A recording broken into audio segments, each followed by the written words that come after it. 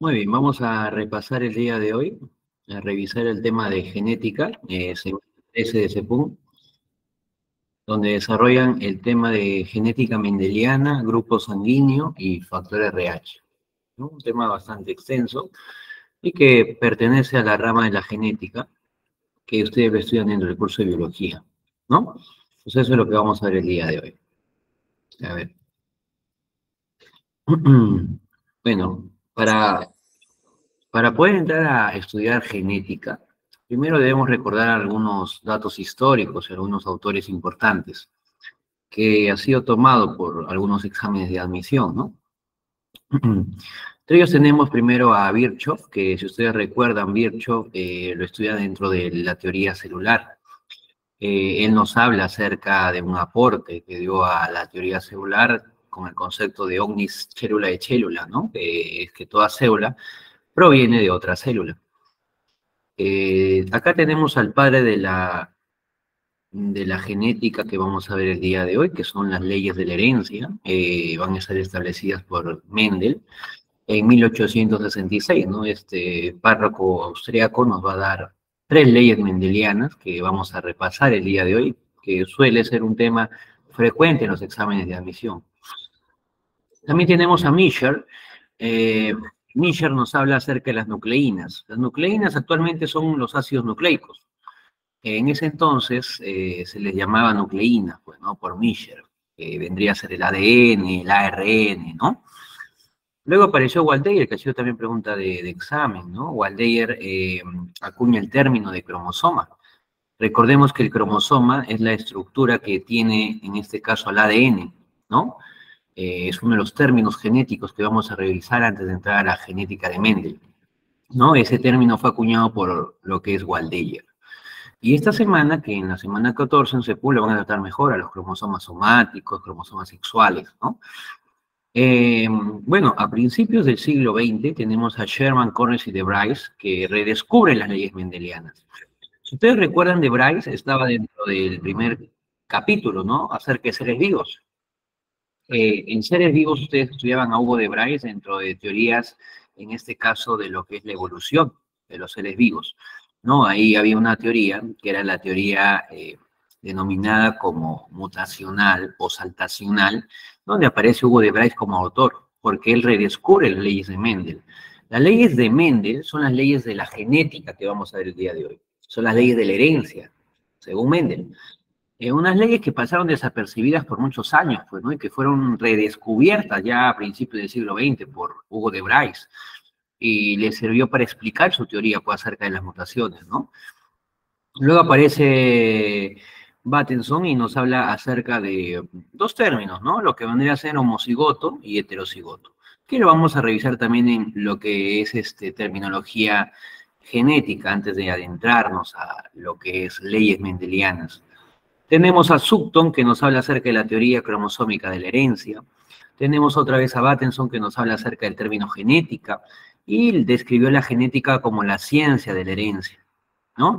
Tenemos a Johansen que acuña dos términos, genotipo y fenotipo, pregunta examen de admisión, ¿no? ¿Quién acuñó los términos de genotipo, que es la constitución de todos los genes que tiene una persona, y fenotipo, que es la parte, cómo se expresa ese genotipo, ¿no? Entonces acá tenemos a Johansen, que nos habla acerca de estas dos palabritas. Luego tenemos a lo que ustedes van a ver esta semana, Morgan. La semana 14 se, se centra en Morgan. La semana 13 se centra en Mendel. En la semana 14 van a revisar a la genética de Morgan, que es una genética que involucra herencias ligadas por el sexo, enfermedades ligadas a cromosomas sexuales, ¿no? Entonces esa es una herencia ligada al sexo que lo estudian en la semana 14, ¿no? Y es una, eh, el autor principal ahí es Morgan, ¿no? También tenemos a Berry, McLeod y McCarthy que nos habla acerca del ADN, ¿no? Que es una molécula de información genética. Imagínate, en el siglo XX recién descubrimos el ADN, ¿no? Eh, también tenemos a pregunta de examen de Watson y Crick. ¿Quiénes son los autores de la teoría, en este caso, doble espiral del ADN? Eh, recordemos que el ADN tiene una estructura en doble, eh, dos cadenas, ¿no? Que se van uniendo así, de esta manera. Esa estructura fue dada por estos dos autores, Watson y Crick. Entonces, cuando nos preguntan en el examen, ya ha venido justamente el año pasado, ¿no? ¿Quiénes son los autores del modelo doble espiral del ADN? Son Watson y Crick, ellos dos son para marcar en examen. Tenemos a Messelson y Stahl que nos hablan acerca de la replicación del ADN y una de las características que tiene la replicación del ADN. ¿Qué significa replicación del ADN? La replicación del ADN, chicos, es la, la forma de copias del ADN, sacar réplicas al ADN. El ADN, cuando nosotros lo tenemos, es una cadena, pues, ¿no? Es una cadena, en este caso, este, una doble cadena, ¿no? Que, que van uniéndose a través de diferentes enlaces. Estos enlaces que permiten la unión de esas dos cadenas, son enlaces intercatenarios, ¿no? Puentes de hidrógeno, que si nosotros queremos formar dos copias, tenemos que, o dos réplicas en este caso, tenemos que agarrar una cadena de esas dos. Entonces, por ejemplo, tal vez en la primera copia yo solamente agarro la cadena azul, y para formar la segunda copia utilizo la cadena roja. Y de cada una de estas cadenas formamos eh, una cadena complementaria. ¿Cómo así, profe? Eh, esto significa que si yo eh, tengo acá una cadena azul, la cadena complementaria es roja. Y para eso necesito enzimas para formar a la cadena complementaria. Y enzimas son diferentes, pues tenemos la RN primasa, la helicasa, tenemos la ADN polimerasa, o sea, diferentes enzimas que lo vamos a tratar mejor en genética, eh, más que todo en biología molecular, en dogma de la biología, ¿no? Pero lo que busca es formar réplicas, o sea, de una cadena azul formar una cadena roja y logra formar esa cadena roja. Y lo mismo, la cadena roja va a formar una cadena azul. Pero a esta característica, a esta característica de formar copias, lo denominamos semiconservativa. ¿Por qué? Porque solamente una copia que se forma mantiene una cadena original. ¿Cómo así, profe? Esta copia mantiene solamente una cadena original o una cadena molde. Por ejemplo, aquí utilizamos la cadena azul que venía de este ADN. Pero la cadena roja no es esta que estaba al principio, ¿no? Sino que se formó por complemento. Entonces, a esa característica la llamamos semiconservativa, porque solamente la mitad se ha formado, ¿no? Solamente la mitad, en este caso, de esa réplica que se formó del ADN es original, la otra mitad se formó por complemento. Y lo mismo pasa para la segunda réplica. ¿Quién nos dio ese concepto? Fueron los autores Messelson y Stahl, ¿no? que me parece que está en su práctica de ese punto. Entonces, cuando nos hablan de la replicación, una de las características es semiconservativa, al formar dos copias, solamente cada una de esas copias porta la mitad o una cadena de material genético que era parte, en este caso, de la, del ADN original, ¿no? Entonces, de este ADN. Y por último tenemos a Niedenberg, que nos habla acerca del código genético, ¿no? Y también lo van a estudiar dentro de la semana 14 y dentro del dogma de la biología, que es donde se estudia un poco mejor esto, ¿no? Entonces ahí tenemos a lo que viene a ser, en este caso, eh, en este caso con lo que es historia de la genética, que es una introducción.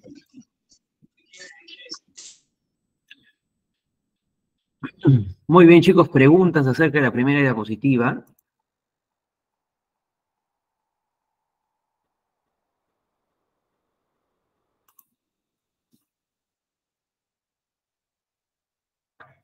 El tema de hoy es un tema fijo para cualquier área A, B, C, D. Bueno, en el caso de ONT solamente es hasta el D, ¿no? A, B, C y D.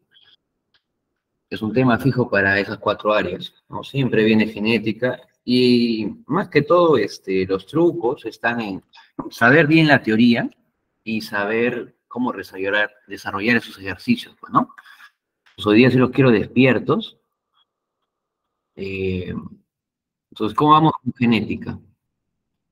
Primera diapositiva. Más que todo historia, ¿no? Ya. Vayamos a la segunda diapositiva. Acá empieza lo, más importante que les pueden preguntar. Para nosotros empezar a hablar acerca de leyes mendelianas, que es más que todo para problemas, resolverlos, debemos primero saber términos genéticos. Acá tenemos, por ejemplo, el término de cromosomas. Profe, ¿qué es un cromosoma? Hay un cromosoma, como dice su nombre, cromo, color, soma, cuerpo. Es un cuerpo que adquiere color cuando se le añade, en este caso, una tensión, pues, ¿no? Entonces, este cuerpo que adquiere color, ¿dónde va a ubicarse? Se ubica en el núcleo, ¿no? Ahí tenemos, mira, el núcleo de una célula. Entonces, dentro de ese núcleo encontramos los cromosomas. ¿Y qué es un cromosoma? Un cromosoma eh, viene a ser, en este caso, eh, la formación de la unión de ADN más histonas. Cuando nosotros condensamos ADN más histonas, formamos un cromosoma. Ahora, ¿qué es ADN? ADN es esta estructura, pues es una cadena doble hélice que hemos visto que fue desarrollado en el modelo por Watson y Crick, y que es como, una, como un ovillo de lana. Cuando tú tienes lana, lo tienes dispersa. Entonces imagínate que yo tengo dos metros de lana disperso, pero ahora lo quiero transformar en un ovillo, pues, ¿no? O sea, lo empiezo yo hasta a enrollar, enrollar, enrollar, enrollar. Cuando llega a su punto máximo de enrollamiento, se llama máxima condensación, que se logra en la metafase, pues no lo deben haber revisado en ciclo celular. Entonces, cuando yo enrollo el ADN, esos dos metros, lo transforma en un cromosoma. ¿Y qué forma adquiere? Esta forma de una X, pues, ¿no? Que lo van a estudiar mejor en semana 14. No vean diferentes cromosomas. Entonces, este cromosoma que están observando acá en la pantalla viene a ser una condensación de cromatina. ¿Qué es cromatina? La unión de ADN más histonas. Esa es la unidad funcional de un cromosoma. Un cromosoma está formado de cromatina. ¿Y qué es cromatina? El ADN cuando se une con estas proteínas, que son las histonas, que son proteínas globulares, proteínas en este caso globulares. Y las proteínas globulares eran proteínas básicamente que abundaban en el medio, en este caso extracelular, eran proteínas que eran solubles en el agua, ¿no? Entonces ahí tenemos, por ejemplo, las histonas, que van a tener una característica de presentar aminoácidos básicos, ¿no? ¿Por qué? Porque el ADN es un ácido nucleico, tiene acidez, y para yo poder unir algo ácido con una proteína, esa proteína debe ser básica.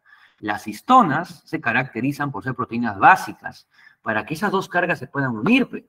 Una carga positiva de lo que es las histonas, que es un grupo básico, y una carga negativa de los ácidos nucleicos, que es, en este caso, este, una carga, lo que es negativa propia de un ácido. Pues, Entonces se unen estos dos.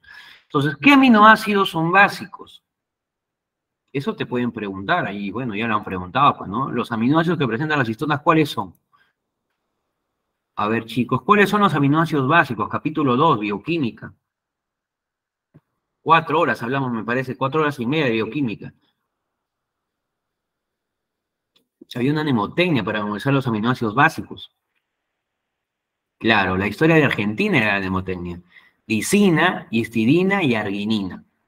¿no? Esos, esos tres aminoácidos son los que deben memorizar. Esos tres aminoácidos están en las histonas y se van a unir con el ADN para enrollarlo. Lo van a enrollar al ADN. ¿Listo? Entonces lo enrollan tanto al ADN que forman esta estructura que se llama collar de perlas, ¿no? Eh, luego ese ADN se transforma en una estructura tubular, luego se transforma en una estructura un poco más grande hasta adquirir la forma de lo que es una cromátida. ¿Qué es esto? Una cromátida es un brazo, esto, un brazo de cromosoma. ¿Cuántas cromátidas tiene el cromosoma? Tiene cuatro. Una, dos, cuatro, ¿no? Entonces, cada, una de estos, cada uno de estos brazos eh, tiene una medida de 350 nanómetros. Y todo el cromosoma, como tiene cuatro brazos, sería ¿cuánto? 1400 nanómetros, ¿no? 1400 nanómetros. ¿Y cuánto de ADN, profe? Bueno, de ADN en total, eh, así en medida, son dos metros, pues. O sea, dos metros de ADN tienen que entrar en una célula, mira. Tú no mides ni dos metros, y dos metros tienen que entrar en una célula. Imagínate cuán enrollado tiene que estar ese ADN para que pueda entrar, ¿no? Y básicamente eso es un cromosoma. Ahora, un gen. Un gen es una porción del cromosoma. Entonces, yo tengo acá el cromosoma con su forma de X, mira. Y si yo agarro una parte del cromosoma, eso se llama gen, ¿no? Qué bueno, para ser exacto, un gen es algo que codifica o forma una proteína, ¿no? Pero si hablamos de eso, te vas a marear, porque eso mejor se estudia en el dogma de la biología. Entonces, ¿Cómo así? ¿El gen qué es? El gen viene a ser una unidad de información hereditaria. O sea, una parte del cromosoma. No entiendo, profe. Si yo tengo acá el cromosoma, mira, su forma de X. Si agarro un segmento una parte, eso es un gen. Este es un gen B. Este es otro gen B. Este es otro, y este es otro, y este es otro. O sea, profe, el gen es una parte del cromosoma, sí. Pero en el examen te puede dar varios conceptos. Te puede decir la unidad de información hereditaria. ¿Por qué también me dice eso, profe? Porque el cromosoma de qué está formado? Ah, ya, profe, de ADN, ya, ¿y el ADN qué tiene? Información hereditaria. Entonces, si yo agarro una parte, una porción de ese cromosoma, ¿qué es? Una porción de ADN, y por lo tanto, ¿qué tiene? Información hereditaria. Entonces, el, concepto de gen me puede decir el examen unidad o porción de información hereditaria. O como vino en el examen, la mínima porción de información hereditaria o la mínima unidad de información hereditaria. ¿Quién es? Un gen. Un gen. O como dice acá, pues, porción de ADN, que sería una porción de cromosoma, pues, ¿no? Que codifica una secuencia de proteínas. ¿Por qué les digo esto? Porque como ustedes vean mejor el dogma de la biología, van a ver que eh, el dogma de la biología eh, presenta tres partes, pues, ¿no? Tres procesos. Yo les he enviado este, en las fotos que he tenido el día viernes con el grupo paralelo de Marshall, y ahí desarrollamos la práctica de ese punto y con teoría. Entonces ahí yo les he enviado que las nueve, me parece, nueve primeras preguntas o diez primeras preguntas han sido de dogma de la biología. Muy pocas veces viene el dogma de la biología, y si, y si bien es muy sencillo. Entonces, eh, dime. Eh, ¿Existe alguna ciencia que estudia el gen? Claro, la genética. La genética estudia la secuencia de genes. Ok, gracias. Ya. Entonces, veamos acá. Nosotros tenemos acá lo que es un ADN. ¿Cómo sabemos que es un ADN? Porque tiene dos cadenas, ¿sí? Dos cadenas. Esas dos cadenas, chicos, se van a transformar en una cadena que sería esta cadena. Entonces, a esto le llamamos ARN. Entonces, la diferencia de un ADN a ARN son las cadenas nada más. De dos cadenas lo transforma en una cadena, se llama ARN. Este proceso de pasar de ADN a ARN se llama como transcripción. Pregunta clásica de examen. Cuando preguntan por dogma la biología en exámenes de admisión, lo ponen sencillo. Es verdad que en la práctica se pone dice licasa, ADN, ARN primasa, ADN polimerasa, muy poca vez ha venido por no decir que no apareció en los exámenes de admisión. Cuando preguntan por dónde la biología, te ponen sencillo, ¿no? Características del proceso o como viene siempre, ¿no? ¿Cómo se llama el proceso de pasar ADN a ARN? ¿Cómo se llama el proceso de pasar ARN mensajero a, proteínas, ¿no? Siempre te ponen eso. Entonces, cuando yo paso el ADN a ARN, el proceso se llama como transcripción. Esto se llama transcripción, ¿no? Transcripción. Entonces, eso no se deben olvidar, transcripción. Cuando yo paso de ADN a ARN se llama transcripción. ¿No? Transcripción. Y bueno, cuando yo postulaba una, forma de memorizarlo era que la palabra transcripción tiene A, R y una N. Entonces, transcripción A, R, N. ¿no? Entonces me hacía acordar que transcripción era obtener ARN. Y siempre el examen te va a poner que es el ADN el que obtiene, en este caso, ARN, ¿no? Luego este ARN se puede transformar en proteínas, ¿no? Que es una secuencia ya de aminoácidos que eso se estudia mejor, como les digo, en biología ya molecular, pues, ¿no? Cuando van a ver que cada copia de ARN tiene codones específicos, y esos codones transforman aminoácidos. Entonces, sabemos que los aminoácidos pueden formar proteínas, ¿no? Entonces, cuando un ARN mensajero, porque ese es el único tipo que transforma, que transforma a proteínas, cuando un ARN mensajero de ese tipo se transforma en una proteína, ese proceso ya no, se llama transcripción, se llama traducción. Traducción. Traducción. Es traducir el código genético en proteínas. Entonces, traducción. Bien. Traducción. Entonces, ahí tenemos la traducción, ¿no? La traducción. Muy bien. Entonces, esa traducción es transformar ARN mensajero a proteínas. Entonces, si yo estoy diciendo que el gen es una parte del cromosoma, una porción del cromosoma, por lo tanto, sería una porción de información genética, ¿no? Y esa parte de cromosoma, ¿qué tiene? ADN. Oye, pero ese ADN se puede transformar en RN mensajero, ¿sí o no? Y luego en proteínas, ¿sí o no? Entonces me puede decir el concepto que dice acá. Es una porción de ADN correcto que puede codificar más adelante en una proteína. O se transforma en RN mensajero y luego proteínas. Entonces, eso sería un gen. Entonces, ¿un gen qué sería? Una parte de ADN, ¿no? o una parte de cromosoma o una mínima porción de información hereditaria, porque eso tiene el ADN, información hereditaria. Entonces, ¿cómo vamos con esta diapo? A ver, ¿se entendió el concepto?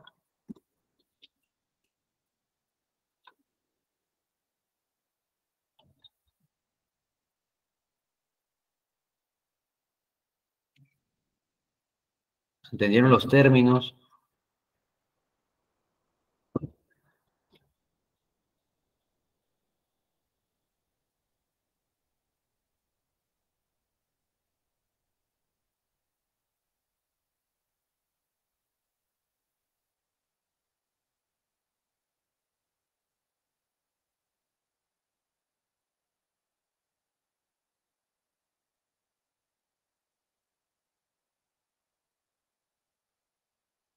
Déjeme reenviar el link porque me han agregado un grupo más. Cristian me parece que agregó un grupo más.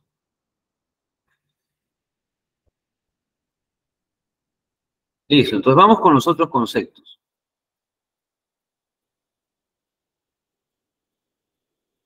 Ah, ya, escucha bien. Eh, las histonas son proteínas. Las histonas son proteínas. Y una proteína sabemos que está formada de aminoácidos. En el caso de las histonas, los aminoácidos que tienen cantidad son la lisina, la histidina y la arginina. Esos tres, lisina, histidina y arginina. Esos tres aminoácidos son los que abundan a un histona, porque tienen que tener un carácter ácido, perdón, un carácter básico, para unirse con una estructura ácida. Entonces, esos tres aminoácidos son los que abundan en una histona. La histona es la proteína, ¿no? La histona. Pues ahí vamos a tener básicamente a esos aminoácidos básicos, pues, ¿no? A esos aminoácidos básicos. Por si acaso, nada más. Por si acaso. Muy bien. Esos tres abundan porque necesitan unirse con un ácido. Entonces vayamos viendo ahora conceptos como el alelo, locus y loci. Entonces, veamos acá estos conceptos, alelo, locus y los. A veces lo confundimos, pero esto es accesible, ¿ya? Esto es accesible. Entonces, veamos por acá estos conceptos, a ver.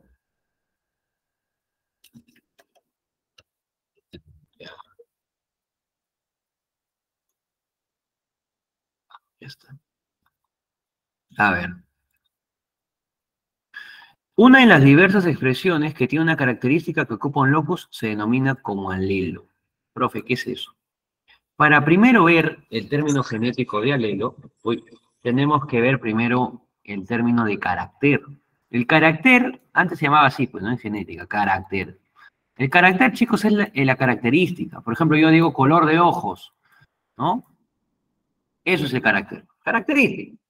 Entonces, yo digo color de ojos, por ejemplo, pues, ¿no? Este, estudiamos el color de ojos, color de ojos.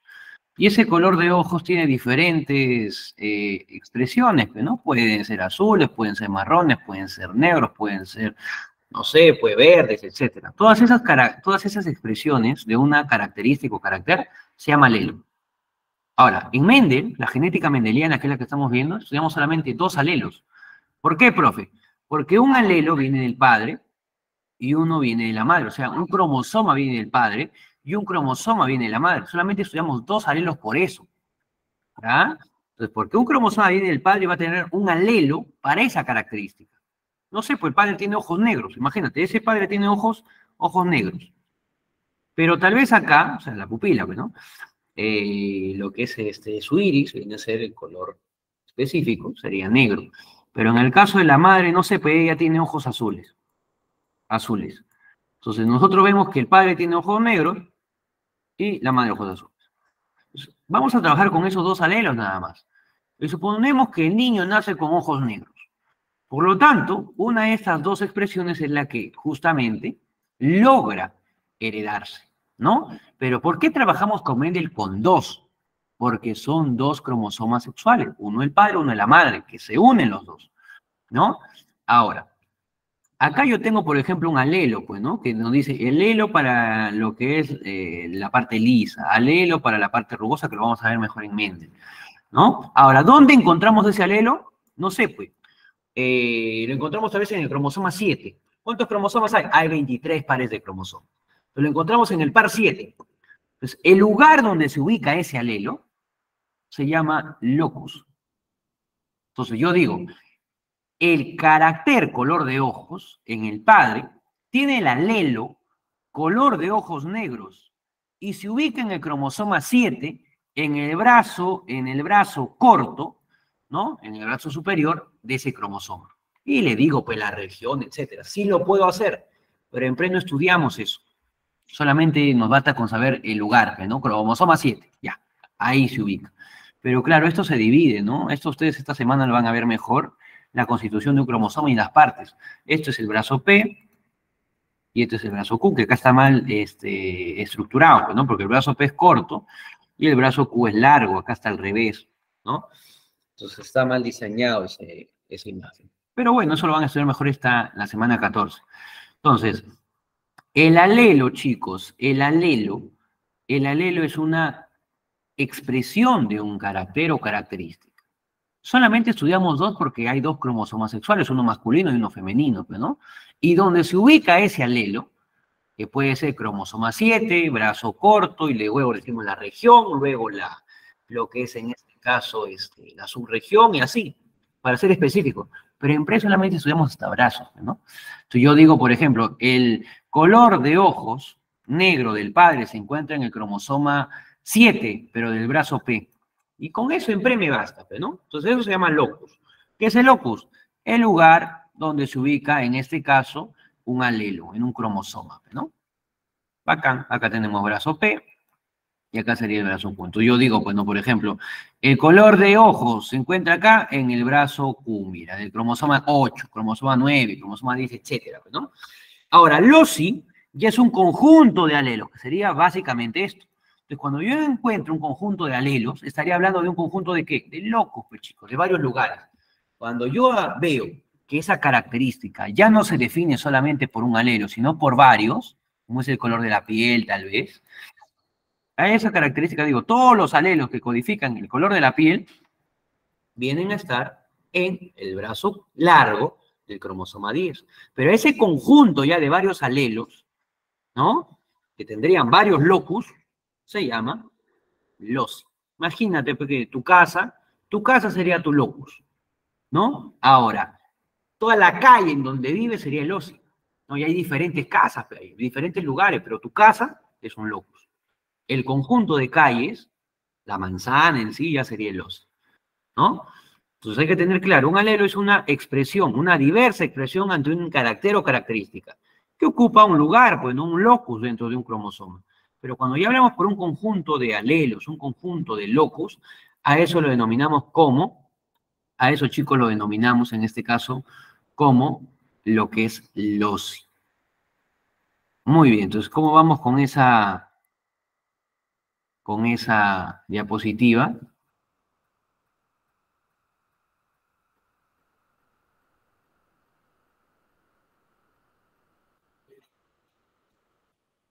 Si hay preguntas, háganlas, chicos, lo pueden hacer.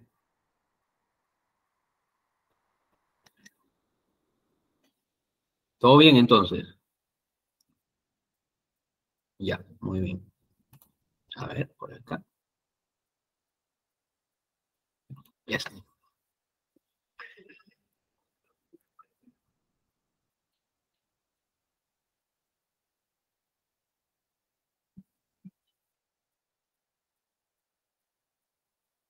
Muy bien, veamos. Xiaomi nos preguntó una preguntita. ¿Se sabe qué cromosomas tiene el cuerpo humano? Claro, el cuerpo humano tiene cromosomas somáticos y cromosomas sexuales. ¿No? Eso lo van a ver esta semana, semana 14. Mejor lo van a estudiar esta semana.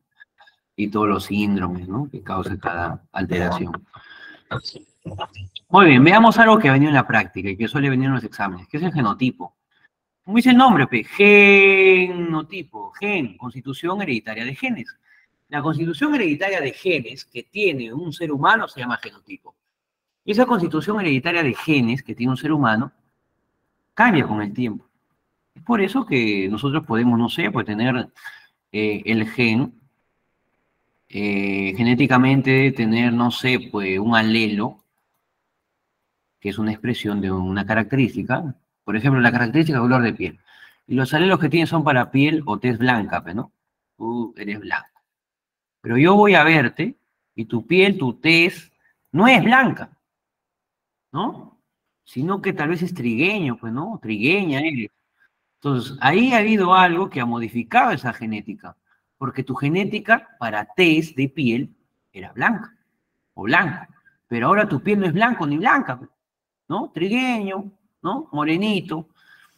Entonces, eso vemos que ha sido cambiado. ¿Por quién? Por el ambiente, puede ser, ¿no? O sea que el genotipo cambia con el tiempo. Genéticamente tú eres sano, pero ahora tal vez tienes alguna anomalía, tienes algún cáncer. ¿Por qué? Porque te pusiste mucho al sol, porque tal vez, este, de alguna manera, pues, ¿no? Este, en este caso, este, modificaste o alteraste un órgano, ¿no? Por la misma dieta, la misma alimentación.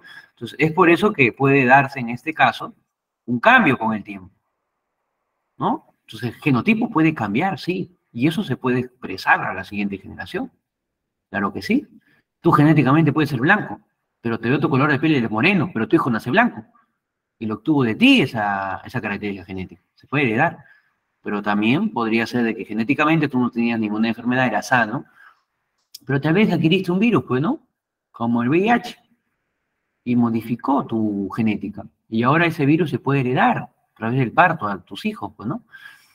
Entonces, vemos que el genotipo cambia con el tiempo. La mayoría que se equivoca y dice, no, profe, genética no, sí cambia la genética con el tiempo. Genotipo, que es la constitución hereditaria de genes, cambia con el tiempo. Y acá hay algo que te van a preguntar mucho que es el número de gametos. ¿Cómo yo sé cuántos gametos va a tener en este caso una, una fórmula que nos vean, ¿no? Y acá hay algo también que debemos entender. Cada característica, chicos, cada característica, a ver, vamos a ver acá. Pantalla en negro. Cada característica que ustedes van a estudiar, cada característica que van a estudiar, siempre lo van a representar con una letra. Cada carácter, pocas palabras o característica que ustedes estudian, siempre lo van a representar con una letra. Entonces yo tal vez estudio el color de ojos. Ah, le digo, ese carácter es la A. Entonces el carácter es la A. Ahora, este carácter puede tomar dos lugares, la A mayúscula o la A minúscula. ¿No? Profe, ¿cuándo toma la A mayúscula? Eso te voy a explicar en un rato. Pero toma la A mayúscula cuando es dominante. O sea, cuando yo veo que la mayoría de población tiene ese, esa característica, ¿no? dominante. Entonces, profe, pero a esa característica se llamaría ya no carácter, sino como alelo, ¿no, profe? Claro, porque es una expresión. Entonces yo digo, el carácter color de ojos, pero uno de esos caracteres, una de esas expresiones para el color de ojos puede ser, eh, no sé, pero acá azules, ¿no? Azules, acá. Entonces yo digo azules, acá. Negros, eso ya sería un alelo. Que los alelos vienen a ser unas letras, solo una letra. Profe, y acá están los dos alelos, ¿no? Claro, pues. Acá tendríamos una característica, que yo esa característica lo represento con la A. Puede ser A mayúscula, A minúscula. Pero cuando es A mayúscula o A minúscula, o las dos pueden ser mayúsculas o las dos minúsculas, significan que son alelos diferentes. ¿Ya? Cuando están uno mayúscula y uno minúscula, significa que son alelos diferentes. Ahora, el alelo que está en mayúscula, primero, profe, ¿por qué solamente hay dos alelos? Porque hay dos padres nada más. Ahora, el alelo que está en mayúscula es el alelo dominante, el que lo tiene la mayor cantidad de la población, ¿no?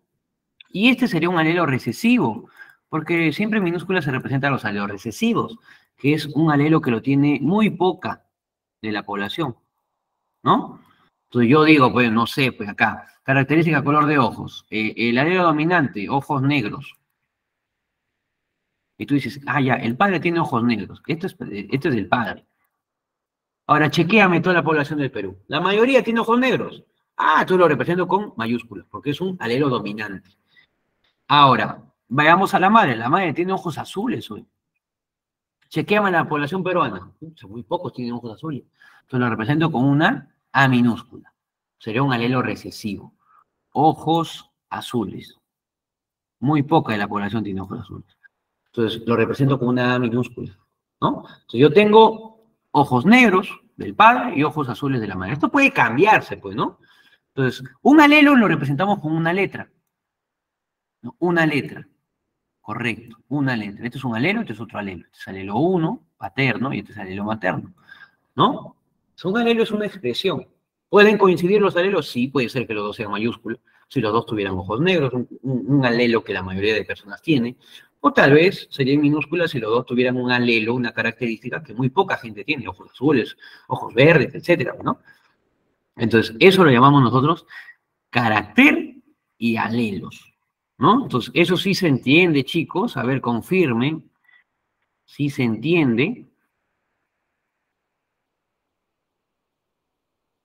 Porque luego se confunden. En el examen te pueden poner, ¿no? En el examen te pueden poner esto, mira. Te dicen, ¿cuántos caracteres hay? Solamente hay uno. Tú ves letras. Ya hay uno. Ahí es la A. Solo que está en mayúscula y minúscula. Pero hay un, un carácter. Solamente hay un carácter. ¿Cuántos alelos tiene? Dos. ¿Cuántos alelos tiene un carácter? Según Mendel, dos. Según Mendel tiene dos. Puede haber, sí hay, pero según Mendel, que estudiamos en PRE, un carácter solamente tiene dos alelos. Entonces, profe, si en el examen me ponen esto, ¿cuántos alelos hay? Ah, hay cuatro alelos, mira. Uno, dos, tres, cuatro. ¿Cuántos caracteres hay? Dos. Tienes que ver cuántas letras diferentes hay. Para carácter, letras diferentes. Paralelos, contar todas las letras. ¿Listo? Entonces, para carácter, veo cuántas letras diferentes hay. Me ponen A, B y C. Bacán, tres. Tres caracteres. Y ahora veo cuántos alelos hay. Si sé que para cada carácter hay dos, si son tres letras diferentes, debe haber seis alelos, ¿no? Seis alelos. Entonces, si se entiende eso, confirma si se entiende, con eso ya podemos entrar a hablar de la fórmula. Sí, profesor. Entonces, vamos viendo ahora la fórmula. una vez que vemos esto, podemos pasar a ver la fórmula. Entonces, ya está. Veamos acá.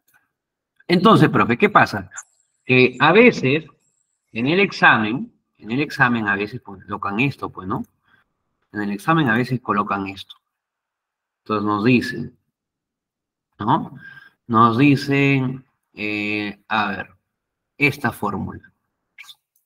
Yo les pregunto al, al toque, esta fórmula, ¿cuántos caracteres tiene esta fórmula que está acá? ¿Cuántos caracteres tiene esa fórmula? Cuatro. Cuatro. Cuatro. Claro, tiene cuatro caracteres. ¿Y cuántos alelos tendré en total? Ocho. Ocho alelos. Entonces, ustedes lo que van a ver, cuando les pidan la clase de gametos, o sea, los gametos, los, los gametos son las diferentes, en este caso, fórmulas que van a formarse, ¿no?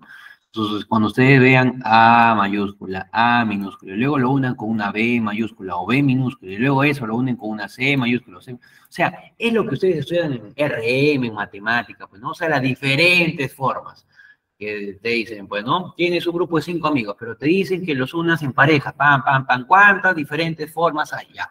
Eso están pidiendo acá en fórmula. O te dicen, yo te doy todas estas letras, pues, ¿no? Entonces, ¿cuántos gametos me pueden formar? Primero, para formar un gameto, eh, tú debes de tener un alelo de cada carácter. ¿Cuántos caracteres hay? Hay cuatro, profe. Entonces yo debo tener uno de cada carácter.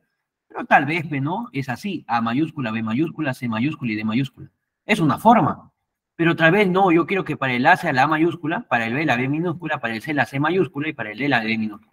Es otra fórmula. Entonces las diferentes formas se llaman gametos. Debe haber uno por cada carácter. Entonces acá te da una forma, otra forma, otra forma, otra forma, otra, otra, otra y así. Tú puedes hacer este esquema que se llama esquema del árbol.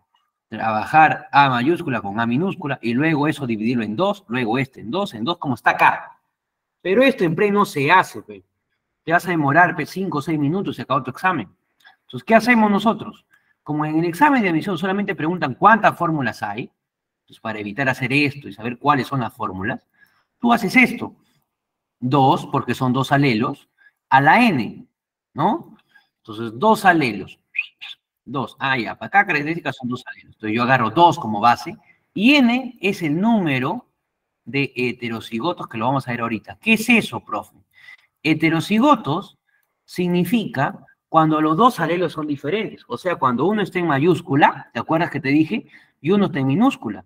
Cuando tú veas que uno está en mayúscula y otro en minúscula, eso se llama heterocigotos. ¿Listo? Entonces, ¿qué es un heterocigoto?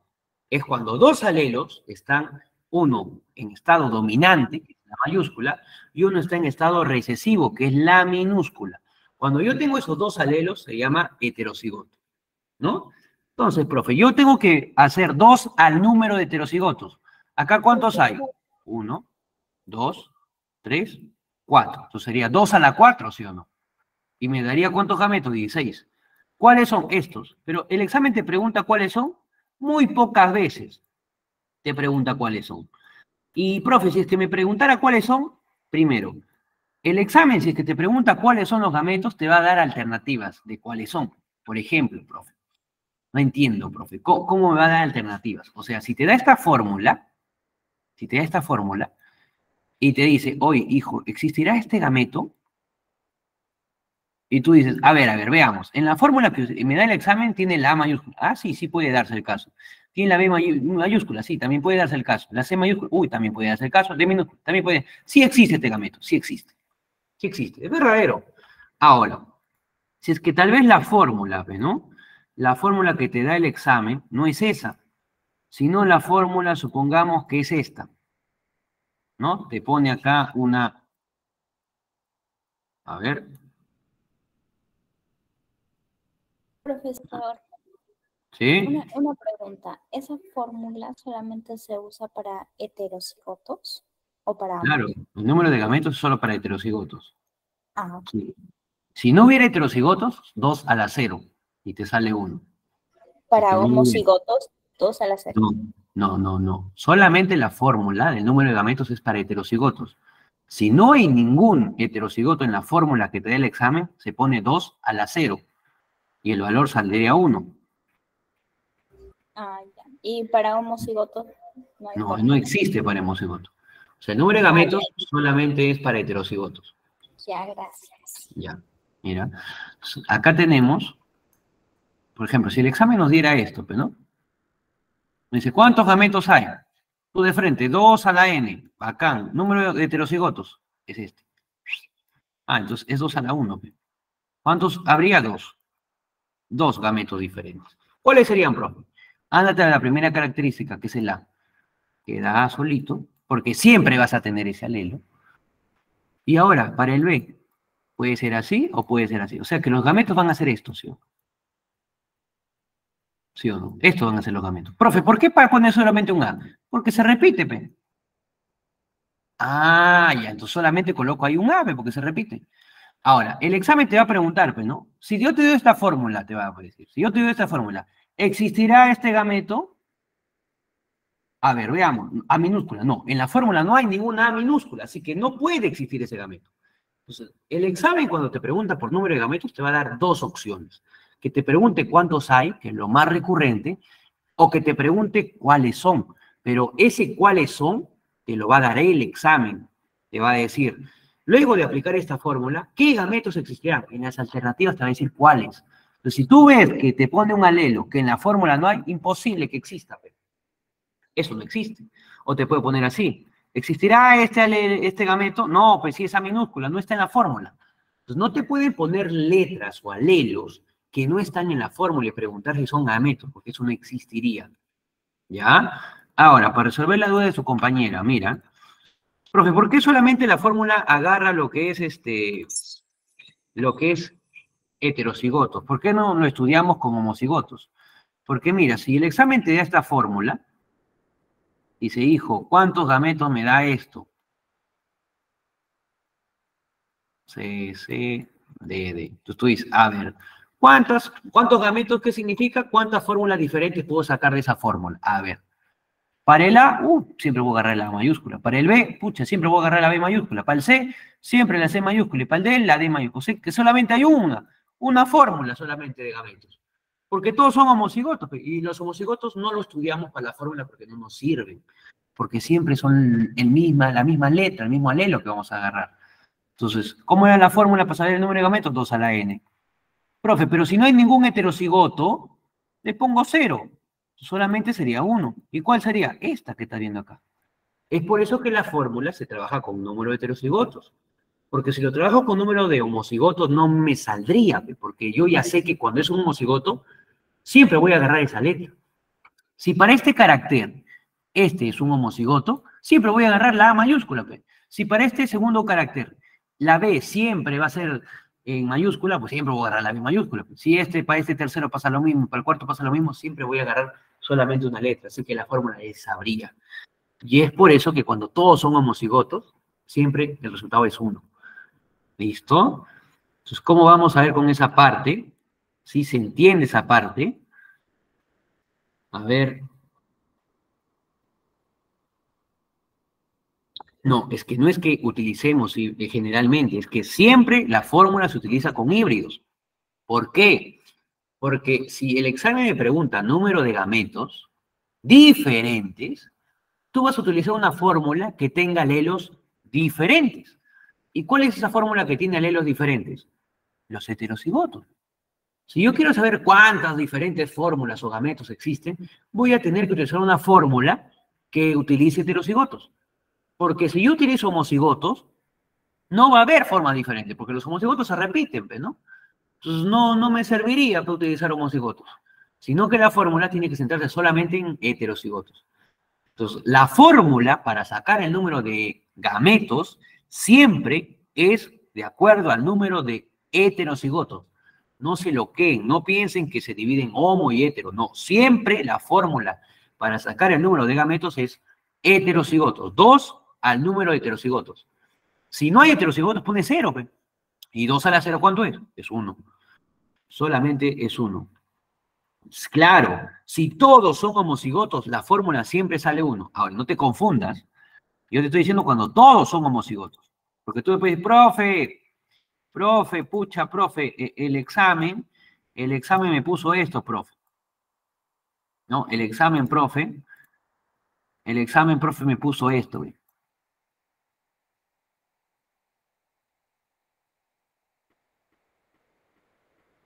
Ya, pe, profe, acá es uno, ¿sí o no, profe? Porque acá hay un homocigoto, ve. No, pe, hoy, hoy mutante, no, eso no pasa. ¿Por qué? Porque yo te dije que es cuando todos son homocigotos. Acá solamente hay un carácter que es homocigoto. Entonces, el gameto va a ser así. Para ese carácter va a ser una A. Que luego puede ser acá una B mayúscula, una B minúscula, luego una C mayúscula, una C minúscula, una D mayúscula, una D minúscula. Entonces yo voy 2 a la N. N, número de heterocigotos. 1, 2, 3. Ve, hay tres parejas que son heterocigotos. Entonces, 2 a la 3 serían 8. 8. Ya está. Y marco el 8, ¿no? Ahora, si el examen me pregunta, oye hijo, ¿existirá este, este gameto A minúscula? No, no hay A minúscula en la fórmula. Ese no existe. No existe ese gameto que me está diciendo el examen. ¿Listo? Entonces, si se entiende, Profesor, en el caso de que den un conjunto de caracteres que presentan como cigotos y heterocigotos, el número de alelos, ¿cómo lo calculo? ¿Cómo el número de alelos? ¿El número de gametos o el número de alelos? Si nos dan un conjunto de caracteres que presentan homocigotos y heterocigotos, lo tenemos acá. Ahí hay un homocigoto y tres heterocigotos, ¿sí o no? Entonces ahí siempre utiliza la fórmula. Mira, la fórmula la vas a utilizar siempre. Siempre lo vas a utilizar la fórmula. Eso no lo dudes. Si yo veo que toda la fórmula tiene homocigotos, pongo cero, pero la fórmula lo estás utilizando. 2 a la 0 es 1. Siempre. N es el número de heterocigotos, claro, correcto. Entonces, eh, lo que harías es colocar 2 al número de heterocigotos y sacar cuántos gametos hay. Ahora, si la pregunta va por otro lado y te dice, oh hijo, ¿existe este gameto eh, eh, dentro de esas fórmulas diferentes que tienes? Tú tienes que ver que ese gameto ese gameto que te está dando tenga letras que sí tiene la fórmula.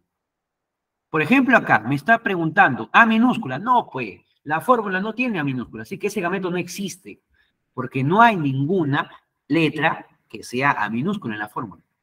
Entonces, eso tiene que estar claro, y es una de las preguntas que siempre viene. Entonces, la fórmula, acá no dice, pero mira, acá hay que poner esto, que el n, el n viene a ser el número de gametos,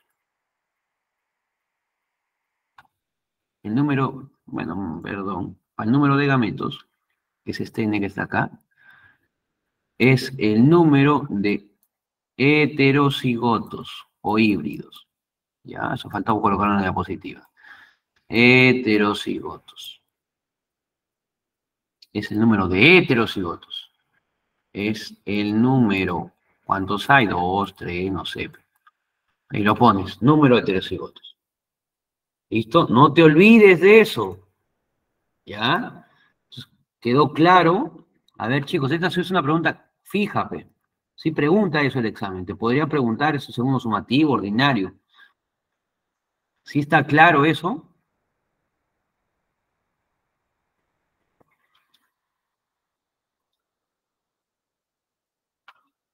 Habla hoy, ¿está claro? Escribe, ¿está claro? Tú si viene. Acá creo que alguien me pregunta eso.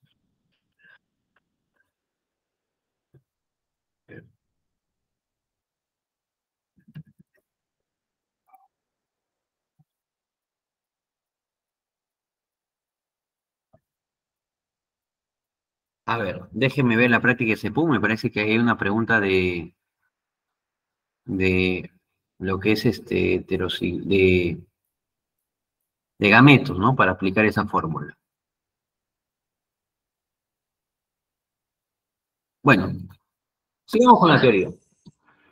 ¿Ya? Sigamos con la teoría, chicos.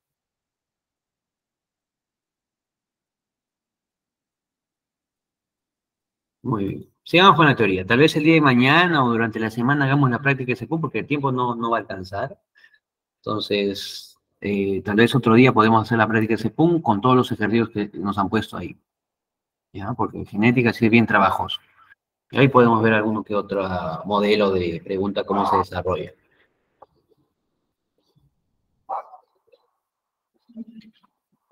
Nos dan A, A, B, B, C, C. ¿Cuántos los minutos?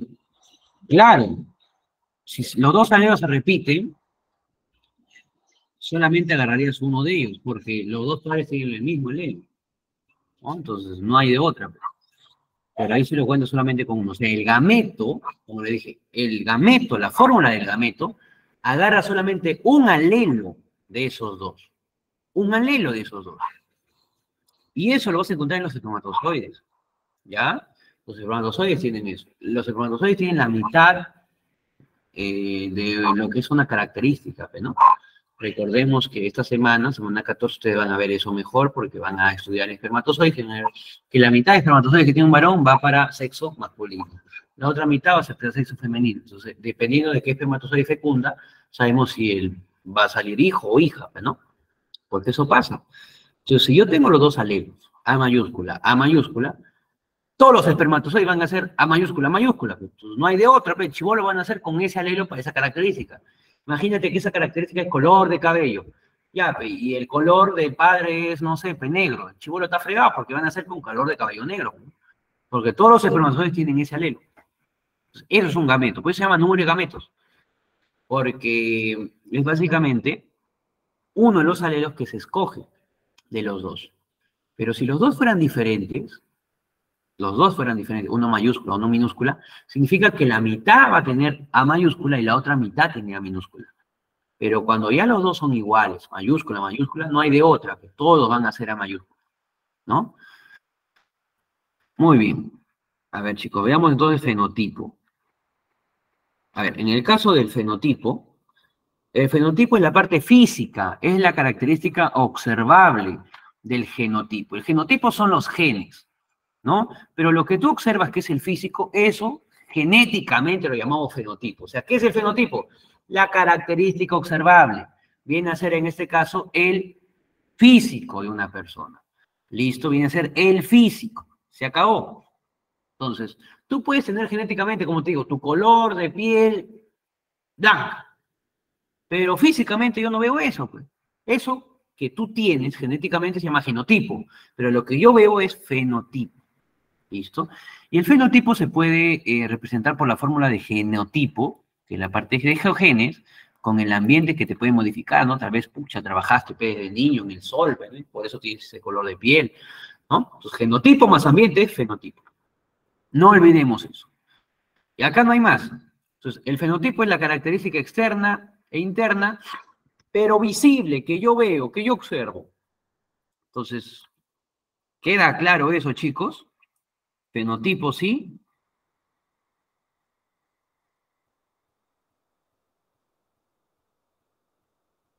Muy bien. Entonces, el fenotipo es la característica externa que hablamos en este caso de una persona.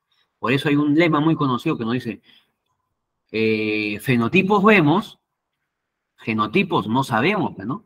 Tú puedes ver a una persona que tal vez, pucha, tiene su color de cabello rubio, pero tal vez una mutante, tiene una mutación que internamente no sabemos, ¿no? O puedes ver una persona, pues, no, no sé, pues, este, blanca, pero tal vez genéticamente tiene algún problema de pigmentación de la piel, pues, albinismo, etc.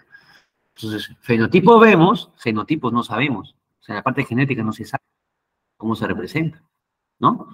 Entonces, ahí estamos observando el fenotipo. Recuerda que el fenotipo siempre es lo que se observa. ¿Sí, Nicole? Nicole levantó su mano. Eh, profesor, este, una pregunta. Eh, eh, acá leo una pregunta y dice que son características autosómicas recesivas. Para que tú puedas saber eh, autosomas recesivos, ¿te tienen que dar este algún ejemplo o algo, algo aparte o eso ya está determinado? Por ejemplo, me ponen como pues opciones, este, bueno, como este, pues albinismo. Son esas, ajá, me, no, me pone pelo crespo, eh, pabellones auriculares grandes, labios finos, nariz ancha y hoyuelos. Y me, pide ahí cuáles son los que son autosómicos recesivos. ¿Yo cómo puedo saber eso? ¿O es que ya está determinado? Sí, eso es memoria. Eh, eso es semana 14 se Por ejemplo, labios gruesos es correcto. Labio, ahí te dice labios finos, ¿no? Son los labios gruesos los que son autosómicos. Sí, labios finos. Los labios gruesos, los hoyuelos al sonreír. Son características que ya están determinadas. Eh, entonces, eso se ve en la semana 14. Esta semana lo vamos a ver una exposición. Pero ahí, lastimosamente, tienes que memorizarlo. Tienes que memorizar cuáles son autosómicos dominantes, que generalmente son enfermedades, y cuáles son autosómicos recesivos. O sea, qué cromosomas autosómicos recesivamente te van a dar eh, esas características o enfermedades. Generalmente son para enfermedades. Eh, pero ahí te está pensionando algunas características, ¿no? Por ejemplo, el hoyuelo al sonreír, que es un autosómico recesivo. Por ejemplo, los labios gruesos son autosómicos recesivos. Por ejemplo, en enfermedades está el albinismo, que es un autosómico recesivo. Y así como esas hay varias más. Y lo mismo para autosómicos dominantes, pero eso sí ya está determinado. Eso ya es básicamente memoria, cuáles son dominantes, cuáles son recesivos. ¿No? Entonces, esta semana eso lo vamos a ver. En la semana 14 Gracias. Ya. Entonces veamos ahí lo que es términos genéticos, ¿no? Entonces ya vimos fenotipo. Veamos fenotipo. Esta semanita que ustedes ven en CEPUM es pesadita, es más pesada que esta. Por eso genética mendeliana y grupos sanguíneos es un tema que debe ser accesible porque viene. A los del B les viene mucho, les viene más para cruzar. A los de A también para cruzar y teoría a los del 6D les viene un poco más de teoría, no mucho para cruzar, pero a veces te ponen. Entonces es un tema fijo en las cuatro áreas. Entonces ahí no pueden perder preguntas, y menos en genética 1. Genética 2 ya es más complejo, pues hay que memorizar síndromes, hay que memorizar características de cada síndrome, cariotipos, cromosomas, enfermedades de cromosomas sexuales, ¿no? Ahí es un poco más complejo. Es más pesado ese tema. Por eso eh, acá le estamos diciendo que hoy vamos a centrarnos en genéticamente media y vamos a hacer las preguntas que nos ha puesto el examen, ¿ya? Con algunos trucos.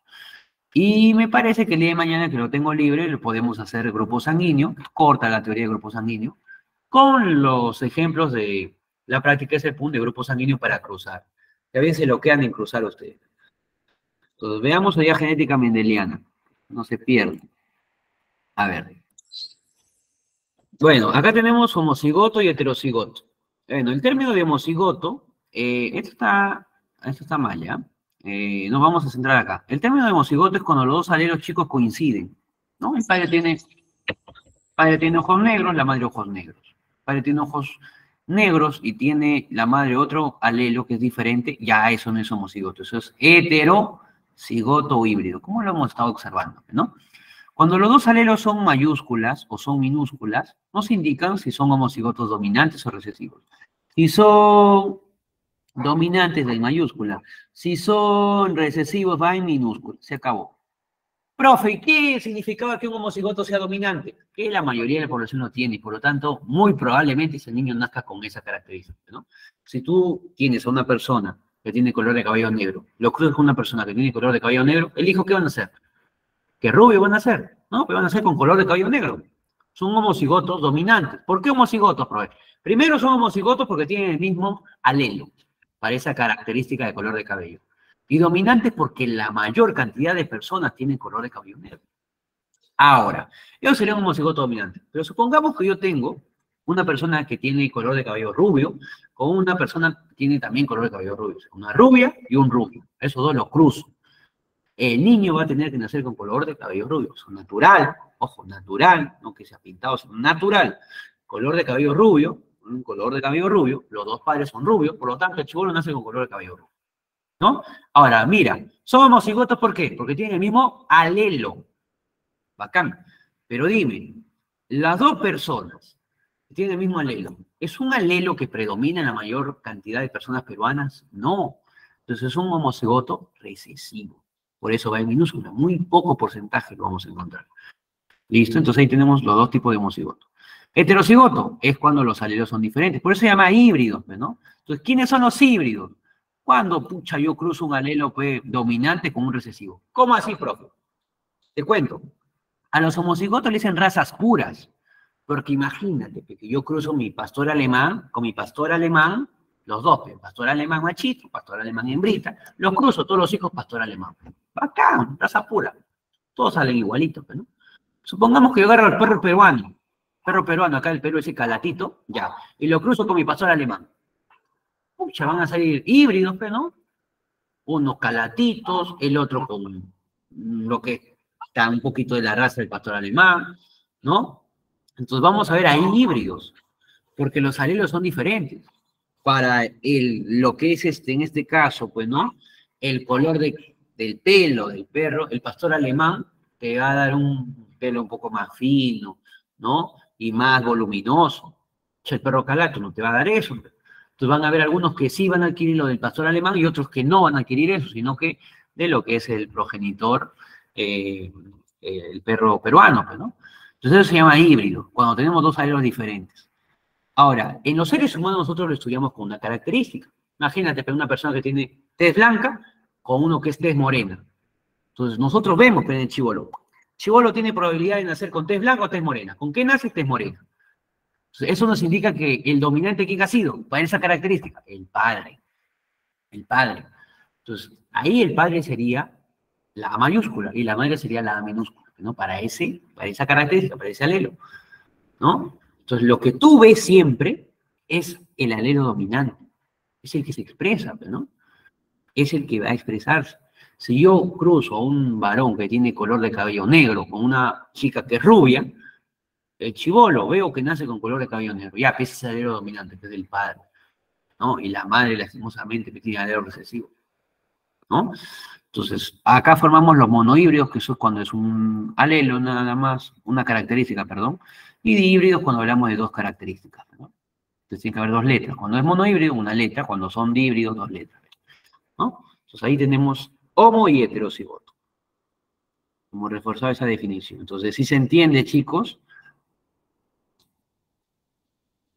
si se entienden homo y hetero. Profe, ¿podría explicar en homocigoto, pero en recesivo, por favor? Ah, ya.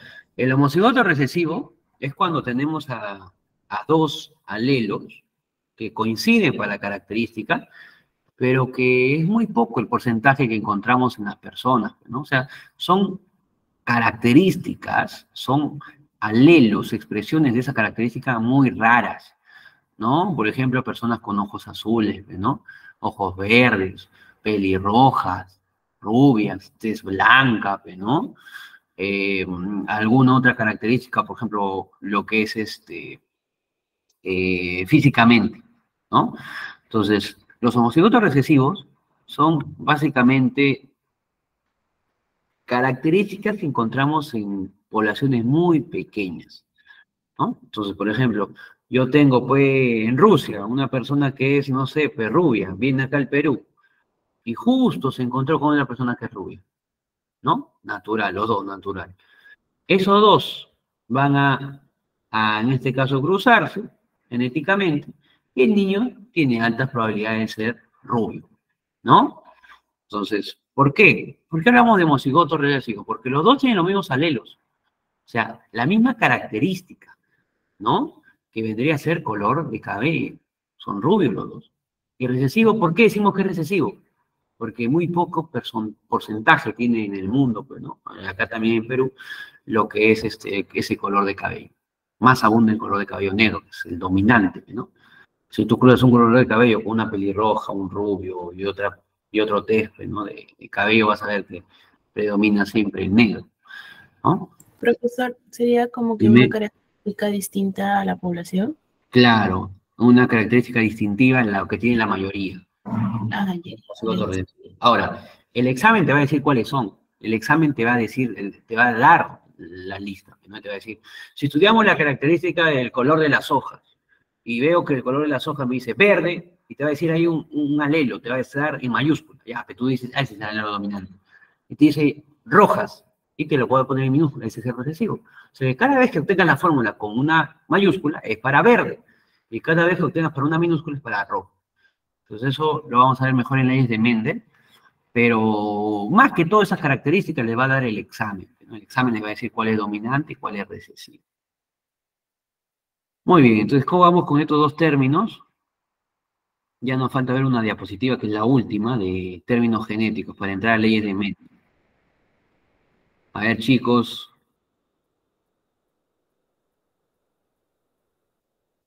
¿Sí? ¿Todo bien? Ya, muy bien. Vamos entonces a ver la última parte. Bueno, la última parte es acerca de lo que es este bueno, términos, ¿no? Que a veces se utilizan en los entrecruzamientos. A veces le ponemos P1, F1 y F2. ¿Qué es la P1? La P1 es la primera generación paternal, la primera generación de padres. Cuando yo cruzo dos especies, le pongo P1. Son los padres. Cuando yo tengo los hijos, le digo F1, porque son la primera generación de hijos. Ahora, si cruzo esos hijos, obtengo la F2, que es la segunda generación filial o de hijos. O sea, esto lo vamos a ver en Mendel. P1, F1 y F2. Cuando vean P1, padres. F1, hijos. F2, los hijos de los hijos. ¿No? Y esto lo vamos a estudiar con semillas, en el caso de Mendel. Y con eso terminamos lo que es en este caso la genética, la genética mendeliana, ¿no? Y podemos pasar, perdón, los términos genéticos que vamos a utilizar en la genética mendeliana. Y podemos pasar a hablar acerca de la genética de Mendel para entrar a las leyes de la genética de Mendel. ¿No? Entonces, les cuento, miren. En 1866, que lo vimos en Repasito de Historia, Mendel publica las leyes de la herencia, ¿no? Que básicamente un concepto donde nos habla acerca de la especie utilizada, pregunta examen de admisión, que es el pisum sativum. Semana 13, genética de Mendel, ¿qué utiliza? El pisum sativum, ¿qué es eso? el chícharo, también llamado judío, guisante o arberja, ¿no? Lo que ustedes utilizan, bueno, generalmente en lo que es para la cocina en guisos, pues, ¿no? Son las alberjitas que ustedes lo tienen en la envoltura, su mamá les hace tal vez pelarla, ¿no? Ya, eso utilizó en este caso este Mendel. En un examen de admisión preguntaron por qué Mendel utilizó el pisum sativum, por qué no utilizó otra especie, por qué tuvo que utilizar la alberja, por qué era más sencillo, más económico y más fácil cruzar. Y además son flores hermafroditas, o sea, no necesito saber si es macho o hembra, porque entre los dos los cruzo y ya está. ¿Qué significa que sea hermafrodita? Que tienen los dos gametos, masculino y femenino. O sea que si yo cruzo dos especies que sean hermafroditas, fijo, van a darte, en este caso, hijos.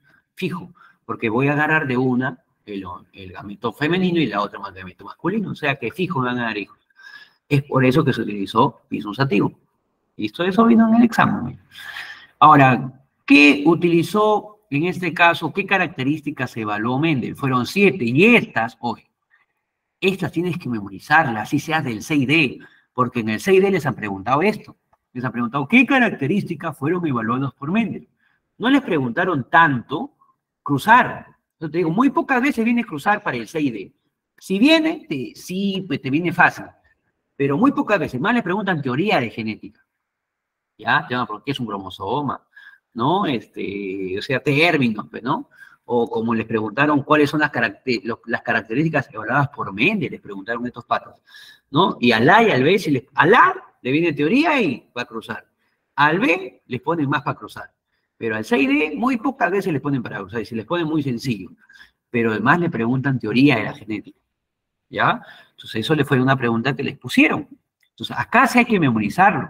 A, B, C y D tienen que memorizarlo los siete caracteres. ¿Y cuáles son los alelos dominantes y recesivos? Lo tienen que memorizar obligatoriamente. Ahora, profe, ¿cuáles fueron esos siete caracteres estudiados por Mendel? Acá yo les digo, pues, ¿no? Chicos, cómprense su kilo, su kilo de alberja, vayan a comprarse, pues, ¿no? Y empiecen a ver cada alberja. Con eso lo van a memorizar porque están haciendo parte práctica. Se ven esta diapositiva y ven sus alberjas. Y con eso lo van a aprender a la mala. Entonces, yo compro un kilo de alberjas. Y empiezo a ver, ah, a ver, veamos la semilla. La semilla es la parte que está dentro de la envoltura. Veamos la semilla, pam, pam, pam, su color. Pucha, la mayoría de, semillas que tengo en este kilo son amarillas. Entonces, ¿cuál es el alelo dominante, peor? El amarillo. Pero ve, por acá hay algunas que son verdes. Ah, ya, entonces ya lo memorizaste. Sí, ni siquiera leer en la tabla o, o lo que es este leer el libro, pues, ¿no? La teoría que te dan, sino por práctica, porque estás viendo que sí se cumple en la práctica, que la mayoría que compraste y eso te vas a acordar para tu examen. Ah, sí, pues sabes que compré un kilo, vi que la mayoría eran amarillas, ¿no? Entonces ese es el dominante, ¿ve? El color amarillo. Entonces, el color de la semilla es amarilla.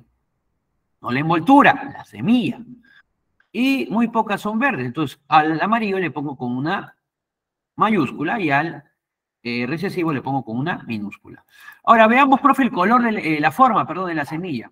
La forma, profe, pucha, es lisa, lo tocas. Ah, es lisa. La mayoría de semillas que pelados son lisas. Muy pocas son rugosas. Entonces, ¿cuál es el dominante? Liso, Muy pocas son rugosas. Vamos a la envoltura. Hoy, cuando tu mamá te van a comprar alberjas, la envoltura, que es lo que ves por fuera, ¿no? ¿Qué color es? Verde, ¿sí o no? La mayoría es verde. Entonces, ¿cuál va a ser el color de la envoltura dominante? El verde. El verde va a ser el color dominante. Y muy pocas tienen color amarillo. Acá se confunden la mayoría. Yo te digo, hazlo de manera práctica. Cómprate tu kilo de alberja, medio kilo y empieza a ver. Lo vas a memorizar a la mala. Entonces, el color de la semilla es amarillo, pero el color de la envoltura es verde. Pero cuando tú compras, ves que la envoltura por fuera siempre es verde. La mayoría de, la alberja lo tiene verde, pero la semilla es amarilla. Y la envoltura es hinchada, pues, ¿no? Por eso tu mamá dice, pucha, que no te estafen. Pero lastimosamente, es que no, no es que te estafen, sino que lastimosamente la mayor cantidad de alberjas lo va a tener la envoltura hinchada, porque genéticamente es la más dominante. Pues, ¿no? Entonces, cuando te vas a comprar tu kilo, vas a ver que la mayoría son hinchadas. Entonces, abres y está hinchada, pues salen dos nada más alberjitas, o una alberjita nada más. No es que te hayan estafado, sino que genéticamente la mayor cantidad de alberjas o envoltura o vaina, como le dicen en algunos libros, es hinchada. Ya sabes qué responder a tu mamá, pues te dice, pucha, te estafaron. No, mamá, genéticamente, según Mendel, la vaina o envoltura es hinchada, la dominante. La mayor cantidad de alberjas tiene esa forma, hinchada. ¿Cómo es la flor? Ah, ya. Estos tres conceptos tú no lo ves. Tú no ves esto. Estos cuatro vas a memorizar, pero estos tres no lo ves. Y casi no lo preguntan, pero no lo ven. Ahora, eh, cuando ustedes van a plantar, pues, ¿no? Ya lo que es el piso sativum, van a ver que tiene flores. Y su color representativo acá, mira, en estas imágenes que son sacadas de Google, ¿Cuál es el color que ves más? Violeta, porque eso es el dominante. Muy pocas plantas, como ves acá en el recuadro de Mendel, son blancas. La mayoría son violetas, como estás acá viendo en la imagen. Y acá también violetas. Muy pocas son blancas. ¿Ya? La mayoría son violetas. Y te voy diciendo algo, mutante, te voy diciendo algo. El color blanco siempre es recesivo. Siempre es recesivo el blanco. Y vamos a ver en albinismo, pues, por eso su compañera hablaba acerca de lo que es este, herencia autosómica recesiva esa herencia autosómica recesiva tiene al albinismo blanco. Siempre la T es blanca, es recesivo. ¿Ya? Siempre pierde con otro color. Ah, veamos ahora la posición de la flor. Hoy. Profe, ¿cómo es eso de la posición de la flor? Ah, ya, escucha, mira, lo, voy a poner acá, porque a veces acá se bloquea. Ya. Espérate, creo que alguien quiere entrar. Veamos acá, quiere entrar. Miren, entonces cuando yo tengo acá, mira, una ramita, un pedazo del tallo tiene ramas, ¿no? Entonces acá yo veo acá flores. Ya tengo una flor acá, tengo otra flor acá, tengo otra flor acá, tengo otra flor acá, tengo otra flor acá, tengo otra flor acá y tengo acá una flor. Pam, pam, ¿no? Ya. A las flores que salen de, esas, de esos lados, estos de acá, estos lados, de los lados, se le llama axilares o laterales, axilares o laterales. ¿ya? Son flores axilares. Pero la que termina se llama flor terminal, pero mutante. Si yo te pregunto, ¿qué más hay? ¿Flores axilares o terminales? ¿Qué es lo más dominante que vas a encontrar? ¿Axilar o terminal? Al ojo. Sí, al ojo. ¿Qué hay más? ¿Axilar o terminal? Auxiliar. Claro. La mayoría de flores van a ser axilares. Es por eso que cuando ustedes van a ver acá, van a ver acá, no dice, la posición de la flor, que fue otra característica que estudió Mendel. La mayoría, el dominante es axilar. Sale de los lados, muy pocas son terminales. Y cuando estudian el tallo, siempre es alto y enano. Esta es una característica que es muy útil. La mayoría de profes lo hacen, pues. Eh, estudiar, ¿no?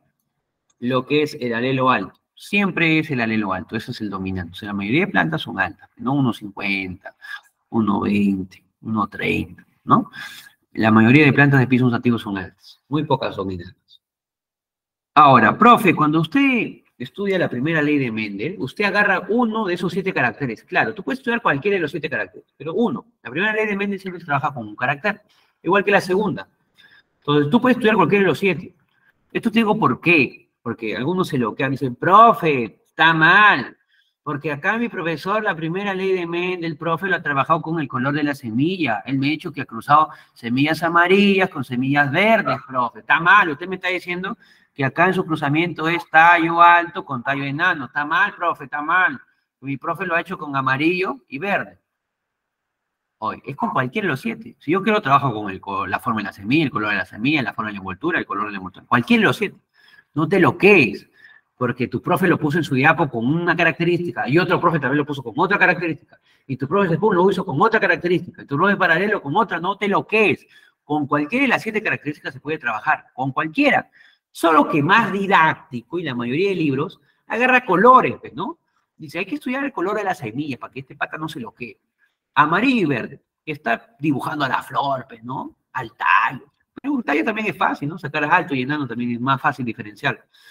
Entonces, se utiliza generalmente colores o lo que es medida, ¿no? Para que el alumno sea un poco más didáctico, ¿ya? Que no tengas a loquear. O sea, que yo desde que llevo enseñando biología, dice, no, profe, está mal.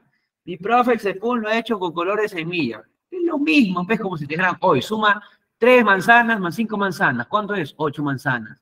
Y luego te dicen, ¿cuánto es tres más cinco? Hasta que no lo sé. Porque a mí me enseñaron con manzanas. No, pues es lo mismo. Ya, yo puedo estudiar cualquiera de esos siete de carácter, cualquiera de los siete. Anote lo que es, cualquiera de los siete lo estudio, pero para primera y segunda ley agarro un carácter. ¿Qué vamos a estudiar con el color de la semilla? Porque es lo clásico. ¿Ya? Muy bien, entonces, ¿cómo vamos con esa diapo?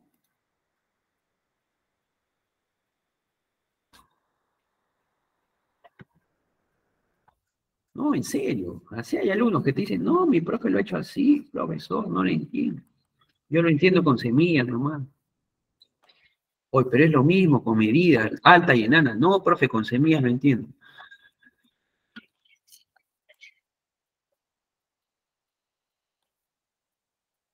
Listo, entonces vamos bien. Entrar ahora sí lo fuerte y luego ver ejercicios de ese punto. Que probablemente le den en su cuarto simulado, pero que es el último. Van. Este tema sí viene. Ese viene teoría, a veces para cruzar. Sí, sí estamos bien. Se jatearon estos patos. ¿Eh?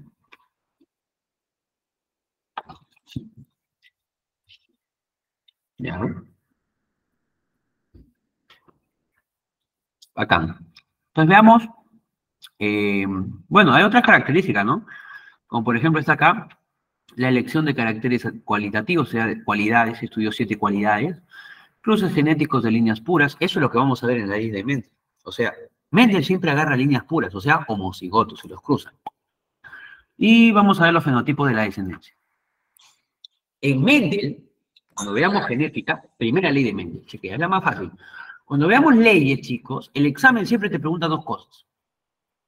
Te puede preguntar proporción genotípica y proporción fenotípica.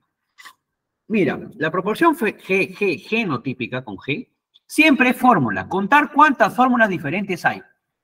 Y la proporción fenotípica es físico, cómo se expresa ese gen. Y eso es lo que vamos a ver. En la primera ley de Mendel, en la primera ley de Mendel, también llamada ley de la uniformidad, ya bien, esta es pregunta examen, se llama ley de la uniformidad. No lo memorices, entiéndelo.